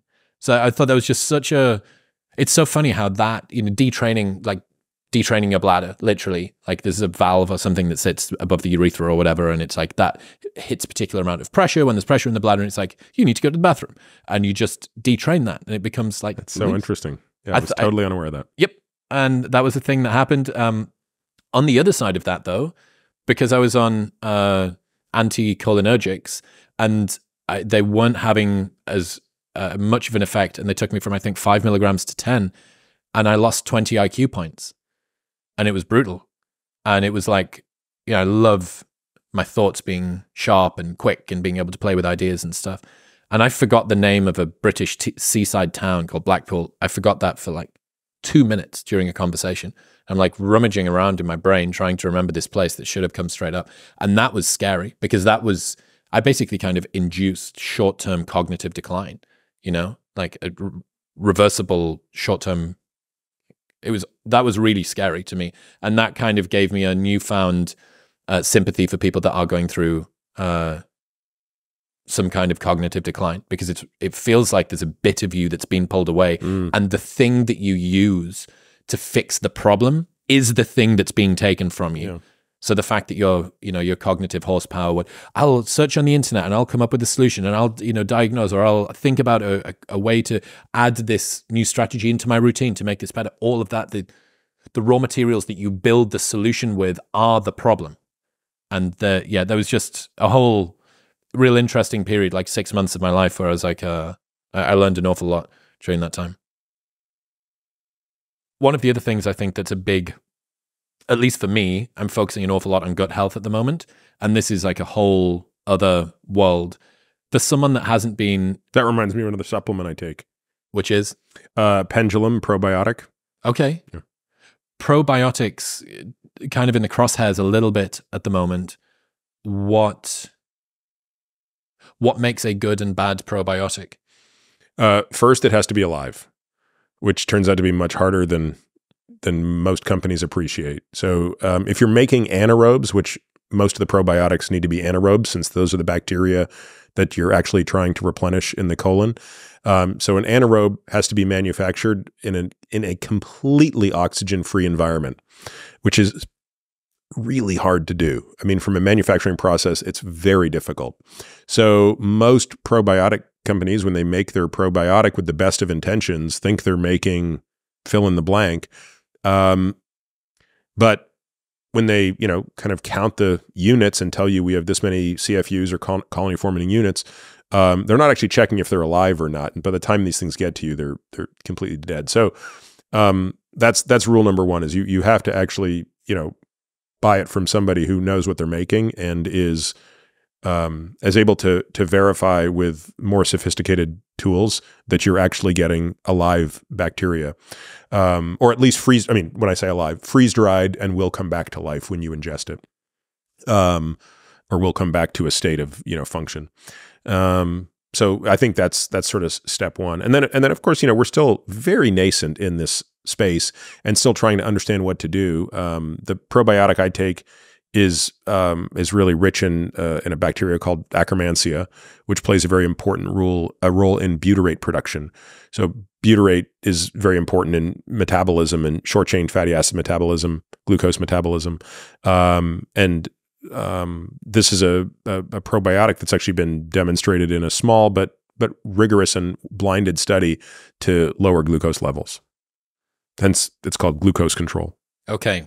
What else should someone that's never considered gut health before be thinking about? Lots of big- insoluble fiber.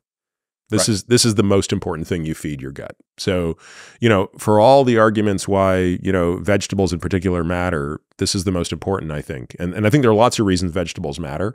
Um, but this might be the most important. And it's the one that you can't get around. Right? So, you can drink a green drink, you know, I I love AG, you love AG. We can all drink those things and we're getting a lot of the vitamins that come in the vegetables and we're even getting the phytochemicals but you the fiber you can't get in volume in that you're not getting enough fiber you have to be able to consume um, insoluble fiber to actually feed your gut so i i think that that's probably something most people are deficient in What are your favorite sources of insoluble fiber? Uh, i love salad stuff right so anything that goes into a salad so lettuce cucumbers carrots celery all that kind of stuff those are that's probably where i get the lion's share of mine Is there any truth behind this? If you blend vegetables and fruits together, it changes the way that it interacts in the gut and it spikes blood glucose and it, you don't get the benefit of the fiber thing. Um, I don't know about that. The only thing I know on that front is that bananas, believe it or not, might actually impair the absorption of other nutrients from other fruits. And so, don't put a banana in a fruit salad. Yeah, or don't put a banana in a fruit smoothie. Might be, yeah, that that there, it, it's preliminary and it's a very small study, but and I don't really drink fruit smoothies, so it, it doesn't really impact my life. But but if if someone's really in the business of fruit smoothies, I might differentiate, separate the banana from the rest of the fruit. What else? Gut health. Insoluble fiber, big importance. That means rely on vegetables, continue to have as many cups as you can throughout the day. Yeah, I mean, I I, I think that's sort of what I. I again, I'm fortunate. That's right? the So- 80%. Well, well, no, I mean, I, I just want to be clear and say, like, I feel very fortunate. I've never had gut issues. Um, my gut tends to be very insensitive to things that I know can cause people a lot of gut issues, such as wheat and dairy and things of that nature. Um, I'm impervious to those things. It doesn't matter. But that said, if you're not impervious to those things, then you've got to figure out what it is that is causing issues and sensitivities and get rid of it. And the only way that you can really do that is with an elimination diet. You can't do it with some stupid test that someone's going to charge you 600 bucks for that doesn't tell you anything. You Mhm. have to actually just take the presumptive offending agent out, run that to ground for a period of time, and then reintroduce it. Um, I'm so- doing hardcore FODMAP at the moment. Yeah. And uh, it's actually not that bad. It's not that. There's still loads of foods that you can eat on FODMAP. So I don't really mind all that much. I mean, it, it's not exactly the most exciting diet that I've ever done, but I'm holding on. One of the other things that I was interested in talking to you about is motivation. So there's all of these things that we should do and can do to keep ourselves living longer but there's other competing goals that we have as well. And if compliance, as you said earlier, is one of the most important things, then you're you're playing this sort of this long game. How do you think about the component parts of motivation and and compliance and sort of willpower to keep doing things, whether that be from a health standpoint or from a work standpoint as well? How do you in myself or in others? In both? Um, I think in myself, um, because I tend to be more um, rational mind than emotional mind. So in, in in DBT, you learn about this It's DBT. dialectical behavioral therapy. You learn about the synthesis of rational mind and emotional mind in something called wise mind, and that's as you learn in DBT, wise mind is the place you want to be. Like you're at your best because you're using the best of each of these components when you're in wise mind. Um, but different people obviously have a tendency to drift into one of the others more likely. And I tend to drift more into rational mind. And all that means is that data speak to me more than feelings. And as such, when I need to motivate myself, I tend to look at the data more. But there's nothing wrong with that. There's nothing right with that. There are other people for whom the feelings provide the motivation. And, you know, I was actually having dinner last night with somebody and we were kind of talking about just that, which is there are some patients who really all you need to do to help them understand why they need to do something is bring it back to their goals. So it's a very cognitive motivation, right? Like you want to be able to achieve X, Y, and Z. To do that, you have to do A, B, and C. And anytime you deviate from A, B, and C, I just remind you about X, Y, and Z again. That's me. Um, there are other people for whom the relationship with that practitioner matters the most. Their trainer is the reason that they eventually want to be able to do this. Right? Like they don't want to disappoint that trainer. And the stronger that bond is, the easier the compliance is. Um, so again, I think it kind of comes down to knowing who you're talking to and understanding what makes them tick, and then that's what you can basically use to to sort of help people stay motivated and compliant. What about navigating an obsession with perfection? So, uh, as soon as you give people tools that they can use, that is an ideal against which they can begin to measure themselves and they can feel when they fall short from a health perspective. And the pain, self induced pain that you feel from falling short can then induce stress, which actually isn't particularly good for you in and of itself. How how do you think about the perils of over optimization and kind of not obsessing over those things and finding that balance?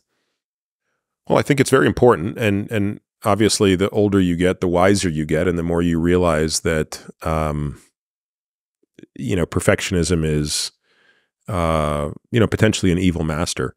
Um, but I don't know. I think people sort of have to learn that lesson the hard way. Like I don't. I think it's very difficult to teach people lessons until they're in pain, and they have to. They have to kind of learn like, you know, the cost of that is really high, um, and maybe I need to be. It, also it, it, sort of comes back to what we talked about earlier, right? I mean, perfectionism is just another manifestation of uh, a maladaptive inner monologue. So it comes back to how we talked about that, which is if you want to resolve that, you have to see the pain points. You have to be able to link that thing to something that is, you know, hurting you. Yeah, it's it's strange to think about the potential negative externalities of perfectionism because all of the benefits are so immediate. Mm-hmm. You know, you, you take pride in doing things right, paying attention, being precise, and caring about stuff. think all very good. And it, the world will reward you for doing those things because there are people out there who either don't have the capacity or the disposition to be perfectionists in that way. And that means that there is an entire blue ocean out there. But again, like we said before, what are the like, what are the psychological costs? Look, I think they're high, and I think I think this is a it's a it is a dangerous addiction. It is an addiction like any other, um, but as you said, it's more societally rewarded, and that makes it harder to break um, mm-hmm. because the really destructive addictions, you're not fooling anybody, like including yourself. Like there's there's nobody in an alcoholic stupor who thinks this is really I'm good. crushing it. I'm doing so well right now, and everybody is telling me how well I'm doing. Um, that doesn't mean that it's easy to get out of that, but at least step one is is taken care of. You're a big fan of compounding over time, of things slowly accumulating and accruing and stuff like that.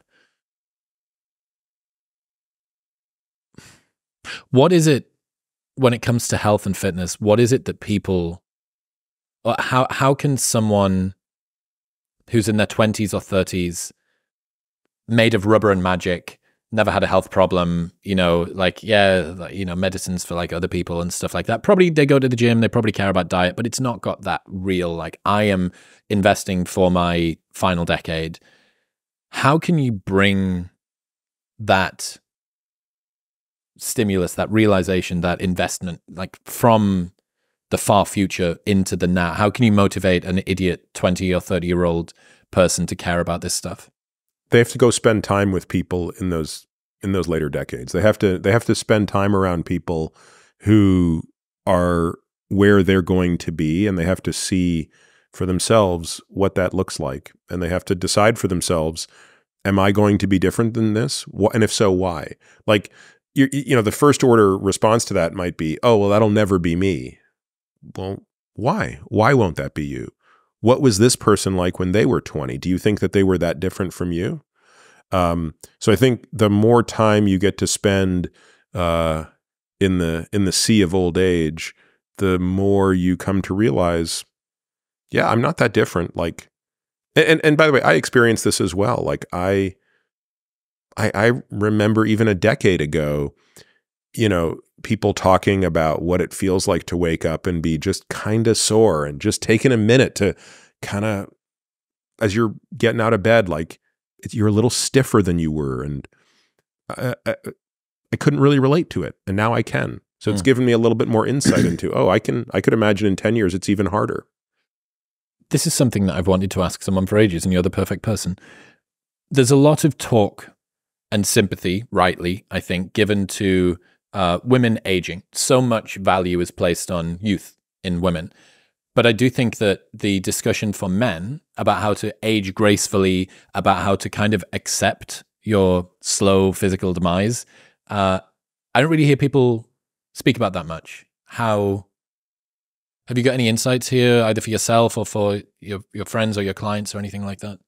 Well, you know, there's a couple things there, right? So, first of all, there is a sort of, I think there is an unjust asymmetry there, which is, I, I do think um, women seem to pay a higher price for aging in terms of whether it's their view of themselves or even the world's view of them, right? I mean, let's take an, an example in Hollywood, right? So, I think it's probably easier to be a to be a leading man for longer than a leading woman. I would guess that is true. There's probably data that could could could support that. So does that mean that female actors are not as good as male actors? Or does it mean that, you know, female actors are punished more for aging than male actors? It's probably the latter. Um, that said, uh, I think, uh, you know, I think when men are aging, there might be different things that factor into it. And and this might be one example, but I I wonder if more men deal with regret than women because I wonder if more men engage in the kind of emotional stuff that we've discussed already today when they're younger and they they take into their older age things that they wish they did different whether it was with respect to how they were as fathers how they were as you know, husbands, whatever the case might be. And I don't know, maybe that's wrong, but I but I do wonder if that there are differences in aging between the sexes that that come down to sort of certain areas of socialization as well as biology. How can we as men learn to deal with that decline? You know, we take pride in the mile time that we can run and yeah. the muscle mass that we hold and the leanness and stuff. And yeah, I don't think it's youth is much more prized in women than it is in men. But I think the conversation also accounts for that, at least in part. And that's it's written into the cultural sort of rhetoric around women and around aging. I don't think that this exists for men. I don't know that it is, but to your question about like how does one cope with the the loss of aging because there is loss, I I tend to think about it through the lens of how I think about health span, right? So when when I talk about health span, it has three components. Um, we've discussed them already, but I, I'm explicit in saying them now, right? So there's a physical component, a cognitive component, and an emotional component two of those three are going to decline as you age, no matter what you do. I don't need to tell you which two they are. Can you alter the course of their decline? Absolutely. Can you start at such a high, high, high place by working so hard in your 20s, 30s, and 40s and slowing the rate of decline that by the time you're 97, you look like someone who is 70? Yes, you can. But make no mistake about it, you are never going to look like someone who is 20. So, in addition to doing everything I can to do that, I tend to place more energy in the one that doesn't have to decline with age and maybe kind of rejoice in that one, which is, you know, when I was 20, I was an insufferable, miserable, self absorbed prick. And I am so excited to know that when I'm 60, I won't be.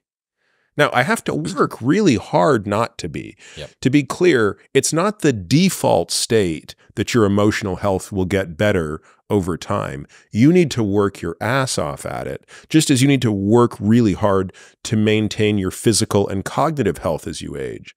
But the beautiful thing is, you will actually increase as you age that emotional piece if you're willing to do the work.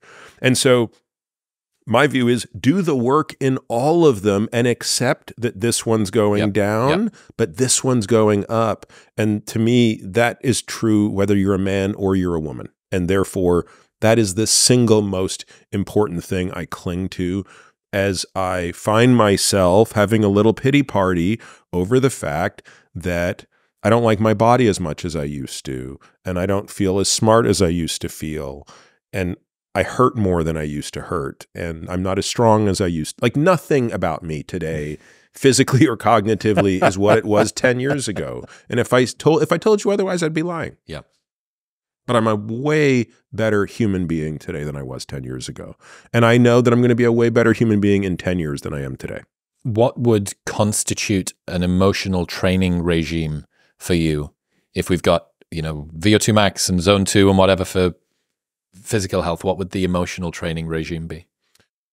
Well, it, it really comes down to sort of the, the there's the therapy, right? Like those are your sessions in the gym, and then there's kind of everything you're doing in between. It's the you know the analogous thing would be being active when you're even not just in the gym, and and the the lifestyle choices you make day by day. So it's um, how do I put into practice what I'm learning? So um, I don't know. For I mean, again, I, I sometimes get embarrassed talking about this stuff because I I'm a little embarrassed to talk about what a what a horrible human being I used to be. But um, We're all friends here. yeah, um, you know, just like I really take joy now in in being less selfish with the people I care about, and and to think about how selfish I used to be. Like everything revolved around me. My health, my work, my this, my that, um, and you know, like yesterday, for example, my my my wife who had a long run this morning, a 17 or 18 mile run. She's training for the London Marathon. So she was she had a long run this morning and you know, she was like, "Look, you know, can you go and pick up our daughter whose volleyball practice ends at, you know, 9:30 and then you got to drive her friend home and by the time I get home it's going to be like super late." And again, normally she does that and you know, uh, and and that's just kind of like she'll do that pickup that night. Um and again, this doesn't sound like a big deal. So people watching this are going to be like, what's he even talking about? But in the past, I would have like been like, I don't know, babe, like I just I think you just got to do it cuz I got too much stuff to do. But of course, it didn't even occur to me. Of course, I was like, of course I want you to sleep. Like go to bed early, let me go take care of this and I'll do this this this thing when I get home and I'll take care of it. And again, it's a very small example, but it's the practice. It's kind of putting into practice like how can I be a better spouse because of, you know, I, I, I don't want to be the selfish guy who the earth revolves around. Um, so even though that's one very small, trivial example that happened to occur last night, it, it's like looking for those opportunities every minute of every day and looking for ways to be a better dad or a better friend or a better son. Um, because Lord knows I've been so bad at those things for so long. And, and, and, and now I'm really enjoying the opportunity to, to spend more time with my parents in a way that I never did before because A, they're not going to be around forever, but also I know that it means so much more to them given that I have kids now too. Well, also you have this degree of pride in knowing where you came from. Like you are, and maybe I am too, uh, the emotional equivalent of a fat guy that got jacked. you know, like Yeah. look at how terribly I was the awful condition that I was in previously, and look at all of the work that I've gotten to now. And you're again the same as the dude that used to be fat that now is like, bro, I did a I did a 5k park run this weekend. And you're like, well, you know, compared with Eliud Kipchoge, that's nothing. It's like, yeah, but you don't know where I started. It's like going and picking the daughter up and not thinking about it and wanting to be there to support the wife. That's not that big of a deal. It's like, yeah, but look where I started Right. and uh, I'm learning that too. I've got I have a number of patterns. I'm also very cautious, super cautious of like this is my new toy, and I'm now starting to see everything everywhere. I saw a tweet a little while ago that said, um, uh, I just learned about recency bias, and of all of them, I have to say it's my favorite. uh, and um, it's a great meme, right? And like, no, it's the Dunning Kruger effect characterized, right? Yes, yeah, yeah. Um, and I don't want to see everything that I do as oh well, there's people pleasing again, or oh there, there's mm-hmm. there's you with your blah blah blah blah blah. Um, but it's fascinating, and it really is an entire new realm of life that I totally hadn't considered. Like you experience, everyone experiences emotions, but not everybody actually connects with them. And certainly people don't connect with them on the level where they give them respect, right? Emotions are kind of this thing to many people, me as well in the past, that were like an annoying, it was like rain. It's like if, if, if, they're negative. Yes. Yeah. It's an annoying thing that kind of gets in the way. And every so often it's a sunny day and you're like, fucking sweet. Thanks. Thanks, guys. Um, but never actually connected with them. I was like, okay, but why is it raining? What does it mean? And how can I work with this in a bit of a different way? And why is it sunny? And do I want this to happen more? And what are the things that I do that engender that? Yeah. And by the way, you also realize if it's sunny every single day and it never rains, do you really appreciate the sun? Hmm. Yeah, I uh I, I, had dinner with a friend a little while ago who uh, told me about a girl that he'd started dating, and he's the super rational, cognitive guy, and she's like crazy, just in her emotions, uh, both cultivated and natural disposition for both of them. So they've both like become more of what they are in some way. And he said it was like uh, boxing a southpaw. He was having sort of he was coming from his perspective and she was coming from her perspective. But he asked, he was like, you know, as someone who doesn't feel things the way that you do, said, "What's it like?" She's like, "It's terrible and beautiful. It's like, there it is. It's like you just the gamut, the the spectrum of experiencing things is so much broader. But I've been through a a, a few strong emotions over the last few weeks, and uh, one of the things that it really made me think about is how little compassion so many people have, especially on the internet. Like you know, you see someone who has a public uh, they fall flat on their face in one way or another or you know they do something silly or a story comes out about them or they have a public makeup or breakup or you know their ex-partner gets with somebody new or whatever it might be and like the way that people talk about other humans is so dehumanizing. It's like it's WWE or or a sitcom or something. You're like you do understand that on the other side of what you see as like a narrative arc someone else has told you that there's actual humans fucking feeling things like in the grips of a, a state. And yeah like guy at 36 realizes that people feel feelings like shock but uh yeah that was that really it really sort of woke me up to was there something in particular that happened that you saw that that made you feel this no, or made you realize this? Not particularly. Just me, me kind of being in this arc and and really sort of sinking into stuff. There wasn't. I think the the Jonah Hill thing that happened about six months ago. Uh, was, was, one that? of these. Jonah Hill, actor, had a girlfriend. They broke up, and the uh, ex girlfriend kind of released the messages online. And it, it, the argument largely centered around should she have released them? Was he in the wrong? Was she in the wrong? And like, it doesn't really matter about that bit. What matters is the fact that both of these people were wildly hurting. They were showing it in different ways. And, you know, was he being mature? Was she being immature? Blah, blah, blah. Like, just the way that people comment on this stuff has no regard for the fact that there is a fucking human on the other side of this. Or like, you know, as a, another good example, love him or hate him, it doesn't matter. Jordan Peterson, a guy who went through hardcore benzo withdrawal for a year and a half. Mm. And I like watched this unfold from basically a front row seat. I wouldn't wish that on anyone. I wouldn't wish that on anybody. Akathisia, flying to, first we'll go to Serbia, then we'll go to Russia, then we'll, oh my God, just like in this endless, endless torture and people just at the time making jokes about Mikhaila's attempt to try and fix her dad, or or you know taking like who is this man to teach us about responsibility in the modern world when he's addicted to benzos and just fucking awful jokes. Mm-hmm. And I just like it makes me think like how bad does your life have to be that this is the place that you get to that you speak about other people like that. And I'm not, I'm no saint. I'm not like brimming with unbounded empathy for people. I don't say things like that. And it just really, it really sort of recentered, like a bit trying to think about a bit more humanity as as best I can, I guess. One of the other guys that I've heard about, Ray Peat has a a prescription or a, a piece of advice, which is to take aspirin every day. Have you come across this? Is this something to do with blood thinning? Yep. And how legit is taking aspirin, 300 milligrams of aspirin every day or whatever it is? Oh, I mean, that's been a well understood uh, uh, therapeutic intervention for folks that are at high risk uh, for cardiovascular disease. I mean, it's it's an interesting story because it's had um, it's one of those things where the answer or the presumed answer has changed so many times. So, you know, there was a day when anybody would take aspirin for cardiovascular disease prevention.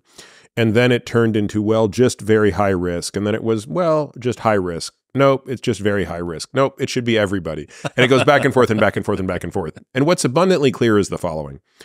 Um, anybody is going to have a reduction in risk for cardiovascular disease by taking an aspirin, or typically it's a baby aspirin, which is 81 milligrams, a quarter of the dose. But there's also a risk from taking a baby aspirin.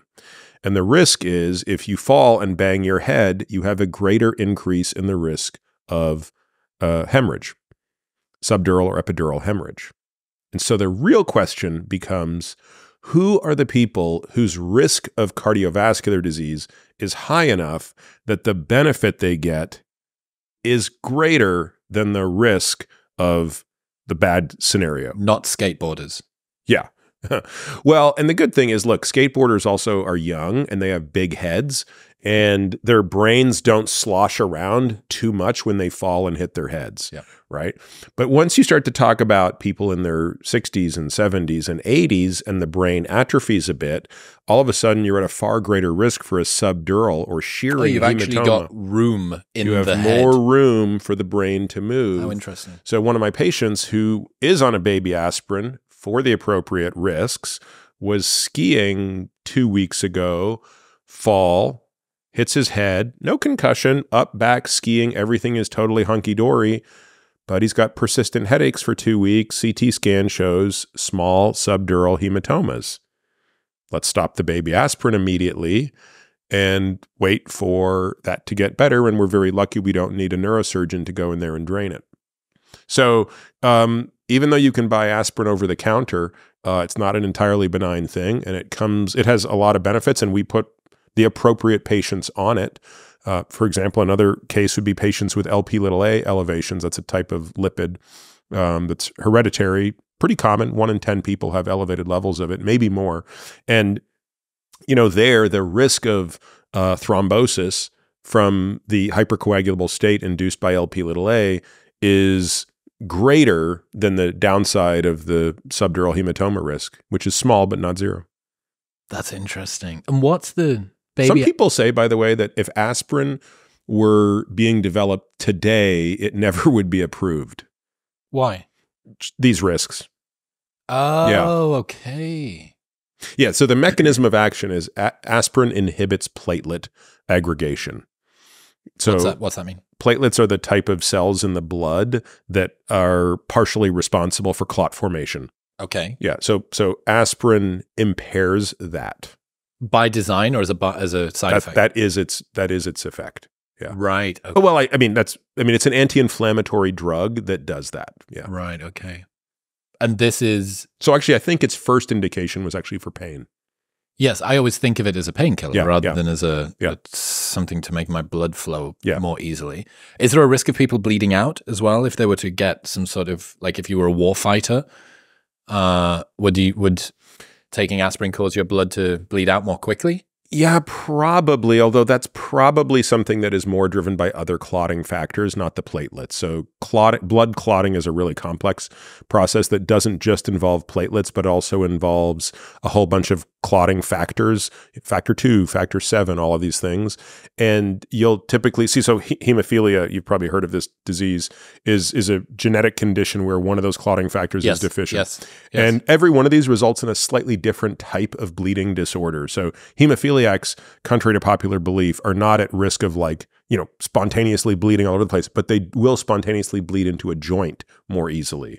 Uh, I forget all the factors. I, I, can't remember if it's like factor five deficiencies. They tend to get, you know, you'll tend to notice if they get dental work, it tends to bleed a lot. Mm. Um, flossing their teeth it will even cause a lot of blood loss. So, not a lot of blood loss, but relative to what you would expect. So, um, it's I mean, literally the last time I knew the ins and outs of all that, I was studying for my med school board. So that's how long it's. That's there was a day when I knew every one of these things. Yes. But uh, aspirin works on platelets. Speaking of that, I saw a tweet from Elon saying, "When seeking medical advice, ask, ask your doctor, but also ask an experienced nurse. Nurses are underrated." You think nurses are underrated with regards to their insight around health and stuff like that? Yeah, for sure. Why? Um, again, it depends on the system, but if you consider a hospital, for example, which is where you're going to most encounter a nurse, um, you know, it, like if you think back to when I was in a hospital, which was in residency, um, how much time was I actually seeing a patient uh, who is awake. So uh, because I was a surgical resident, we were obviously seeing patients a lot when they're when we're operating on them. But when you talk about a patient post-operatively who's going to be in the hospital for a week, I mean, I might spend a grand total of 10 minutes per day with that patient. And the nurse is with that patient for hours a day, lit- literally hours a day. So, a really good nurse, and not all nurses are good, just as not all doctors are good, but a really good nurse, which is presumably what he's effectively referring to here, um, you know, understands things and sees things and recognizes patterns uh, very well. And I know that when I was a resident, anyone who was a good resident, and I prided myself in trying to be a good resident, um, you would very quickly figure out which were the nurses who you always listened to when they sort of said, There's something wrong with Mr. So and so over there. And they might say, it it might be this, or they might say, I don't know what it is, but he is not acting normal. And I tell you more often than not, like something would go wrong. And it's like, yep, you know what? She's seen the pattern enough of his mentation status or the slight decrease in his urine output. And, you know, lo and behold, he's got a GI bleed and it's going to show up at two o'clock tonight. I'm going to be sticking an NG tube down his throat and we're going to be running, you know, five units of blood in him on the way to the angio cath lab. So, um, so yeah, I think there's a lot of truth to that. Because they're just front lines. Yeah. And that's yeah, that's so interesting. I don't even think about that. It's crazy when, you know, there's so much uh It's a shame that there's a big nursing shortage in the US. Is there? Yes, absolutely. Why is So it's being met by, you know, importing nurses from other countries, right? So we um, you know, we bring a lot of nurses in from other countries. Um, but look, I think it's a hard job and I think it's probably underpaid. It's, it's a hard physical job too.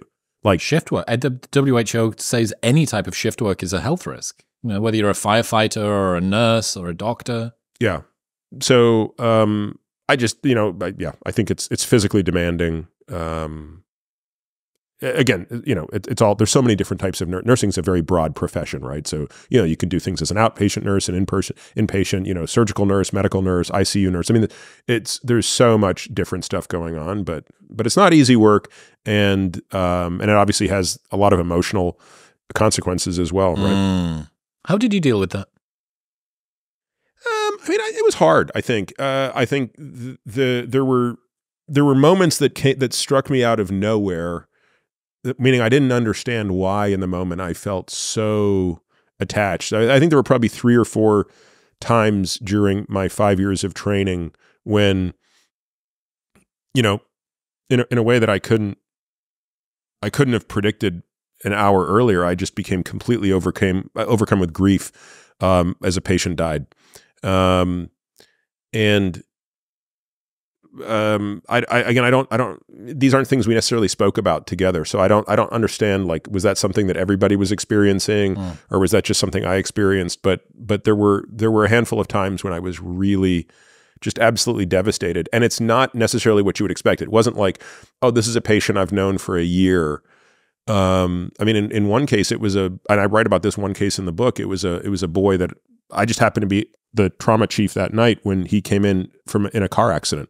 So I didn't didn't know him, right? But but you know, he died right there in the trauma bay as I was trying to resuscitate him, and I can't. I've lost track of how many people have died in the trauma bay when I'm taking care of them. Like that's I need scientific notation to remember that number. It's huge. But there was something about that boy on that night that was impossible for me to fathom. Um, so I'm not sure why. I have a friend, one of my best friends in the UK, who uh, became a a F1, F2 uh, med student practicing uh, during COVID. Oh, I thought you meant F1, F2 driver. I was like, no, no, no, no. I'm afraid not. We would both of us would be trackside if that was the case. Mm. Um, and he told me the story during COVID of a lady who came in, and when she came in, she was a little bit short of breath and whatever, whatever. She called one one one, or which is kind of like the slightly less intense nine nine nine in the UK. Got taken in, and uh, he saw her, and she was a little bit short of breath. Then he saw her thirty minutes later, and she was blue And he saw her 30 minutes later and she was dead from when she'd come in, the lady that he was talking to. And that one really hit him as well. And he didn't, kind of the same as you. He didn't know why, he didn't know what it was. But he's told me that story a couple of times. And each time he tells me, it's kind of haunting to just think that, you know, from being someone sat in a Uber or a, an ambulance or something, and then 60 minutes later, you're gone. It's, it's fragile. And, uh, it's a lot like the first death I saw, which I I think I also write about this in the book when I was a med student. I think it was my second year, and uh, it was a woman that came in short of breath, and you know, being the med student, I was sort of okay, go and talk to her. Like this is, you know, she's a little short of breath. She's probably having an asthma attack. Um, and what it turned out is she was having a pulmonary embolism. And in the midst of sort of just sitting there talking with her, she has a cardiac arrest, and you know that turns into a full code which ultimately ends with me, you know, being brought in to do chest compressions, uh, and and ultimately she died. And it was again, I it, it's it's it's one of those things where, I mean, I had never seen a person die before, and it's compounded by the fact that I had just spent thirty minutes talking to her. Yeah, yeah, this contra- this deceleration yeah. of aliveness. Yeah. I'm sitting here and speaking with this woman for thirty minutes, who then an hour later is dead. Um, and I remember it was a Saturday night, and I remember riding my bike back home from the Stanford Hospital, which is on the north side of the campus, to where I lived. I lived, you know, on the south side of Palo Alto, and I remember just driving my bike back. It's like midnight on a Saturday, and you know, at the time, I had a girlfriend who was an architect. She lived in San Francisco, and we never talked about there was she had this kind of like she was skeezed out by medicine. So it's like our relationship was not at all based in talking about my day job or my you know my school. Um, and I remember being very upset when I got home because I really needed to talk to someone. She, your girlfriend would be the likely person, but I also knew it was like, yeah, she she's not the one who's going to hear this. Um, but I remember that feeling very distinctly of how upset I was and not and, and not feeling like there was someone to talk to about it. What do people gloss over in Outlive that you wish that they didn't? What were the most unpopular, important insights? You're about to hit full year on the bestseller list. What do you wish people paid more attention to in the book, but they're not?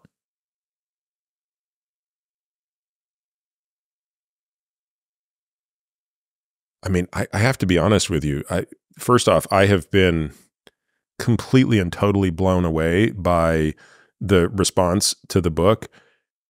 And part of it has been the the number of things people have come to me and said that they've changed either changed their mind about or just changed their behavior about. And I through those discussions there's nothing that stands out to me where people are you know I I, I really don't know. I, I think that the two things that are pleasantly uh, noted are one is you know, the the fact that there's three chapters on exercise, I think was a deliberate decision just based on the volume of what I needed to say. And I think people have taken that to heart. You know, I think people are saying, "Wow, I thought I yeah, I understood that exercise mattered, but I now have a a much clearer path for understanding not just how much it matters, but how to think about it comprehensively." And then I think look the final chapter of the book and the epilogue which were, you know, not they were not something that was necessarily going to end up in that book. And I think if my publisher had had their way it wouldn't have ended up in the book. But i but i actually think that there's a non trivial subset of the population who've read the book who say that that's maybe the most important part of the book for them and that it's opened their eyes to to the same sort of exploration. So look if it if, if it does nothing else right if it doesn't change anything about the way you eat or sleep or exercise or think about heart disease or cancer or alzheimer's disease but it ignites in you kind of a curiosity along some of the stuff we've been discussing well then it's worth it then you could just save the time and jump to the last chapter. That's a win. Yeah. Let's say that you could only do 10 exercises for the rest of time. Could be any machine, any modality. You're talking just weight exercises, strength any, exercises? Could, cardio could be anything. Mm. You can pay, it could be swimming, it can be cycling, it can be being on a Bosu ball, it can be hanging mm. therapy, it can be anything. But you only have 10 modalities. And can we can, can one of them accommodate multiple variants of it? Like would a split squat allow you to do every form of a split squat? No. No. No. These so the, a rear foot elevated is a dedicated Correct. That's the those are the rules. And you've got 10. What are you choosing? Come on now. The bike? Bicycle? Road bike? Yeah. Cool at just that you, you can do different intensities on the bike. Yeah. That's allowed. Yeah. Uh, but is that because you get the big it's, variation? It's where I get two? my it's where I do my zone two and my VO2 max. So I'm gonna get my full okay. suite there. Yep. Um boy, do I want to use up I mean, for now, I'm going to throw in ruck and swim, but I'm going to reserve the right to come back and say because okay, right. that only leaves me seven yeah. on yeah in the gym. What would be the justification for ruck? Um, it's just a it's it's just so beautiful to be out there carrying weight around. It's also the most social thing that I do. So I love when my patients come into Austin and I can go for a ruck with them. So you know, it's it's whereas I, am not going to go for a bike ride with somebody or swim with somebody, and and and most people don't want to lift weights together. What about the stimulus itself? Is there something specific to the ruck? Is it to do with the fact that you're loading yeah, joints? Yeah, no, I think it's it's it's great to be loaded without over pounding the joints, um, and it's also great training for other activities I do, like hunting, where you're walking around and it's challenging, and you got a pack on your back with a lot of weight in it. Swimming? Why swimming? Even if it does get kicked out? Yeah, I think, you know, look, it's something that's always been near and dear to my heart with my background. And um, I also think it's a great sport for life. Um, and so it also is something you can really do well at multiple intensities. So you can really kind of do easy, easy peasy zone two, and you can do like the most crushing, soul burning intervals. Um, it's an amazing way to train your lower body, doing kick sets till the point of like the burn. The you know, it's just it's just a it's a it's a beautiful whole body workout in a way that virtually nothing is, maybe with the exception of rowing. All right, three. Um, I'm gonna go with a relatively new toy in my life, which is a belt squat. So I've very recently, like in the last four months, got this new belt squat machine, and I I have to say it is the greatest hip hinging device ever, and it's it's really nice because it's just you're not actually loading the spine at all. So I'm able to load my body with as much weight as I would have ever been able to tolerate in a back squat or deadlift without any of the axial loading. Um, so I, that's definitely on the list. Who makes the machine? Oh, I want to give them a shout out because I'm so happy with them um, and I don't have any affiliation with them. I think it's called Squat Max or something. It's a guy plate, plate loaded. Yeah. Yep. It's a it's a it's a guy who's a former NFL player, and I'm blanking on his name. I apologize. I wish I could give them a better job shouting it out. Hopefully, you can link to it somewhere. Yep. Um, but I think it's called Squat Max MD or something like cool. that. How comfortable is the belt? I've found a mixed variety. This of- one is exceptional, okay. and I and I tried a couple beforehand. Yeah It's I get so bruised hips if. I get, you know, you've got some. You should come over and try mine. yep. All right. Cool. No, it's cool. Cool. Cool. It's I have. To, fantastic. I adore the belt squat. I'm someone with lower back injuries, and also I learned this from uh, Dr. Mike Israetel. The um, additional uh, CNS strain that you get from axial loading, which is specifically through the spine, and to be like, oh, I just get to completely kill my legs. I can bail out whenever I want. Yep. I can go to failure as much as possible. I can get someone else to deload the bar or whatever Yep. the, the plates easily to do drop sets. I can do all this stuff, and you're telling me that I get to do it. So I'm all Yeah. in for that. Okay, so there's four.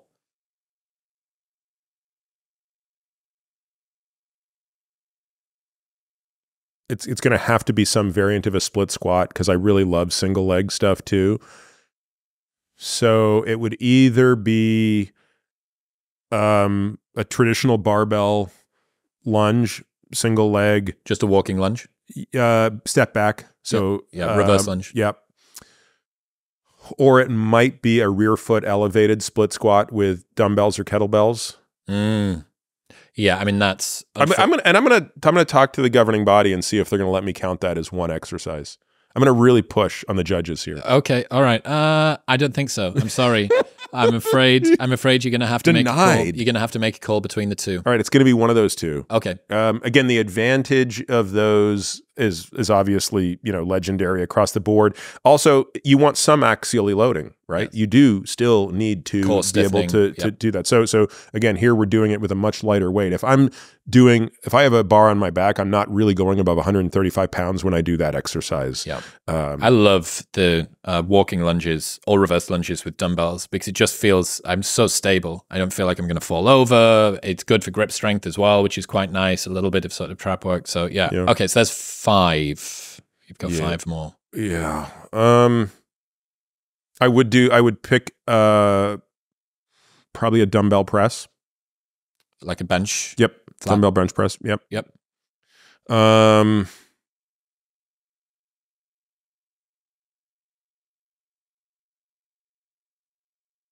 either a oh by the way if i do pull up i can do all grips right Sure. You can go chin up and pull up from that I- and neutral. Ah, come on. Are you really pushing the limits here? The governing body is going to have to meet and give me back. three grips Okay. All right. So be it. all right we'll do a three grip pull up Okay. um The squat of the back. yeah um how many is that I think you've got six. So I think you've got four more. Do you ask everybody this question asked- and does everybody take this long Yes. Okay. You're the, the pain, and someone asked me on a Q&A, and I took even longer than anyone. So, so I've asked Phil Heath, I've asked uh, some of the greatest bodybuilders of all time. So everybody, I don't think there's a single person that hasn't said dumbbell, either bench press or incline bench press. So that's like the one single thread. Everyone's a bro deep down, but you've got four more. Um. Good lord. I don't even know. I mean, I haven't even included any of the kind of rehab important moves that I Mhm. do. Right, like Mhm. di- I'm gonna. There, that doesn't count, right? Like if I'm doing DNS, like dynamic neuromuscular stabilization stuff, where I'm doing like, you know, uh, like a, a I, I mean, if you don't know this stuff, the, the the the positions won't mean anything. But I'm gonna say that doesn't count. Okay. Yeah. Okay. Um, I would probably also do uh, a tricep extension, so an overhead tricep extension. One of my favorites. So you have to obviously get humeral extension and then a tricep extension on Yep. that. Tell you what's a really lovely variation that we've been playing with on our Saturday session is a floor skull crusher Mhm. with small plates. And that is just so nice. Held like this. No, so on a W bar. Uh, oh, so- oh, oh, I see what you mean. Yep, yep, yep, yeah, yep. But just going from the floor, just because I've Yeah. always felt a bit strange bailing out when you're on a bench. It's always a bit like, Yeah. eh. and if all that you need to do to bail out is just go to here and it hits the ground. Yeah, yeah, yeah. I've really been enjoying that. But I, that, I mean, that's Yep. every guy ignores like it's just push downs. Everything is push downs or close grip bench. It's like, dude, get your fucking arms over your It's head. interesting. I think the literature is pretty clear on this. Isn't there a significant difference in tricep activation when you have humeral extension? Correct. Yeah. Yeah. So I, I don't actually do anything that's not extended now. One There may be a benefit to it, but I obviously don't spend a lot of time doing arms, as evidenced by my arms. Uh, But, one, um, one thing that I did learn that was interesting, like tricep kickbacks are kind of like they feel like a sh- the shake weight of the upper body or something. But that uh, Jeff Nippard talked about this, the fact one of the heads of the tricep only gets activated when the uh, uh, elbow is behind the torso. Yep. Um, so you can do this in a number of ways. You could use a, a uh, cable and again put yourself into this position, but that that actually is kind of important to get maximum contraction on it. I was like, yeah, huh, interesting. Yeah, I never thought about that. All right, you're not going to make the top ten for me. That's fine. That's okay. So you got three more. Uh, a hanging uh, leg raise. Again, probably at least eighty percent of people that have answered this have put that in as their ab movement of choice. Yep. Are you going uh, to hang? I'm to- going Oh, uh, do arms in, and then I'm going to do. I get all three sides right. That that, that counts as one movement. don't- even try to tell me that I doesn't. have to say, of all of the people I've asked this question to, you are the most litigious. I'm the most needy. by far the most fucking litigious. okay, two more.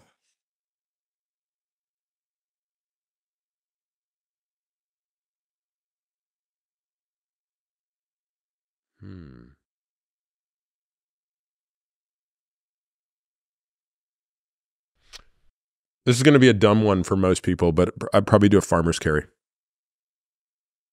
Okay, yeah, yeah. I'll, I'll give you for this, given that you're probably going to try and litigate your way through it. I'll give you both unilateral and bilateral for that. Yeah.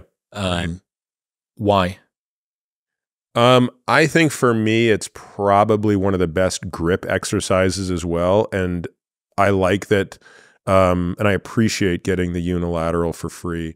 Um, I'll tell you, I would have accepted it even if I only could do it with a hex bar. Okay. But that's my, I, I like doing both. But what I really love doing is I do this set once a week, hex bar loaded up, pick it up, 30 seconds of walking, 30 seconds rest, 20 times. So it's a 20 minute set. And, y- you know, I, I would like to see people of our age should be able to do that with their body weight. Yes, I've and, seen and you then, talk and then obviously, you know, once, you know, you, you keep progressing through that. that. Mhm. And, you know, I think I'm up to maybe, I don't know, I'm probably at 115% of my body weight now. Um, so I think a you're you're really getting some grip strength there. Like you're really, you know, when you get into that 15th, 16th set, you're really feeling it. Um, but also you're really you have to have a stable core to be able to do that. You've got to be able to kind of control yourself. You're you're you know you're you're getting great um, uh, dorsiflexion. You know everything is so much harder when you're carrying that weight. So I think it's a great exercise. It's also one of the exercises I love doing as a it's a it's a great family exercise. So believe it or not, it's like So it's the on the kids can see driveway. swearing and sweating. Well, the kids are doing it with me. You know, they carry their little weights, and you know, their one kid's timing me and all that kind of stuff. Okay, final so one. two more. no, one more. I, I feel like I'm just missing something so obvious. It's almost like I need to see other people's Is choices. Is it bicep curls? no, I thought about that, but it's like, do you really waste one of your ten on that? That's true. You've got pull ups. Same as calf raises. You've got you've got no direct shoulder work, but if you're doing bench and then you've got your holds, No, you know what? I'm going to take a seated calf raise. Seated calf raise for the number ten. Yeah, for Wow. soleus. Why? Um, first of all, contrary to popular belief, a seated calf raise does still hit the gastroc, so you are still strengthening the Achilles as well. Um, and maybe maybe I would change that to a standing, but I think the seated you can load so heavy, and I really think that a strong soleus is a healthy lower leg. I just think it's I think it's just a way of life. Um, so yeah, I'm going to bring that in at number ten. Hell yeah. Dr. Peter Attia, ladies and gentlemen. Peter, I really appreciate you. Thank you for joining me on the first ever one of these that we have done. For the people that are just listening, we have been cycling through a Western landscape on a virtual video wall and then a, a museum atrium complete with moving dinosaurs uh, for the last three and a half hours. Uh, I really appreciate you, mate. I love your work. I love the fact that you're diving so deep and making this stuff accessible to people. What should everyone expect over the next few months coming out from you and your lab and the stuff that you're doing? We've talked about a few of the things, so I think I'm, I am excited about this sunscreen thing. Uh. The sun melanoma sunscreen thing is an important one that we're going to do. Um, we're introducing something new to our podcast, which is going to be quarterly reviews. So we get a lot of feedback. Hey, Peter, love your podcast. Can't keep up, man. Three hours a week of super deep diving into stuff. I need the TLDR. And yeah, we have great show notes and all other stuff. But what I do, and I think you do the same thing, every time I finish a podcast, I make notes. So I use I have these cue cards, these eight by five cue cards, and I write down the most important things I learned. And I've been doing this forever, and there's like a huge stack of these things sitting in my drawer that nobody's ever seen. And so I kind of mentioned this to my team three months ago, and they're like, "Tell us what's on it." So we had a call, and I read them the last three months cue cards, and they were like, "Dude, that's a Make podcast. this into an episode. That's Yeah, an yeah, yeah. episode. Once a quarter, you come and read your cue cards because it's what you found the most interesting and how did you change your behavior as a result of what you learned. So we'll be introducing that in Q2 as well. That's awesome. Uh, where should people go? They want to keep up to date with what you're doing. I think our site is probably the best place, Peter Attia, MD, or earlymedical.com. Hell yeah. Peter, I appreciate you. Thanks so much for having me.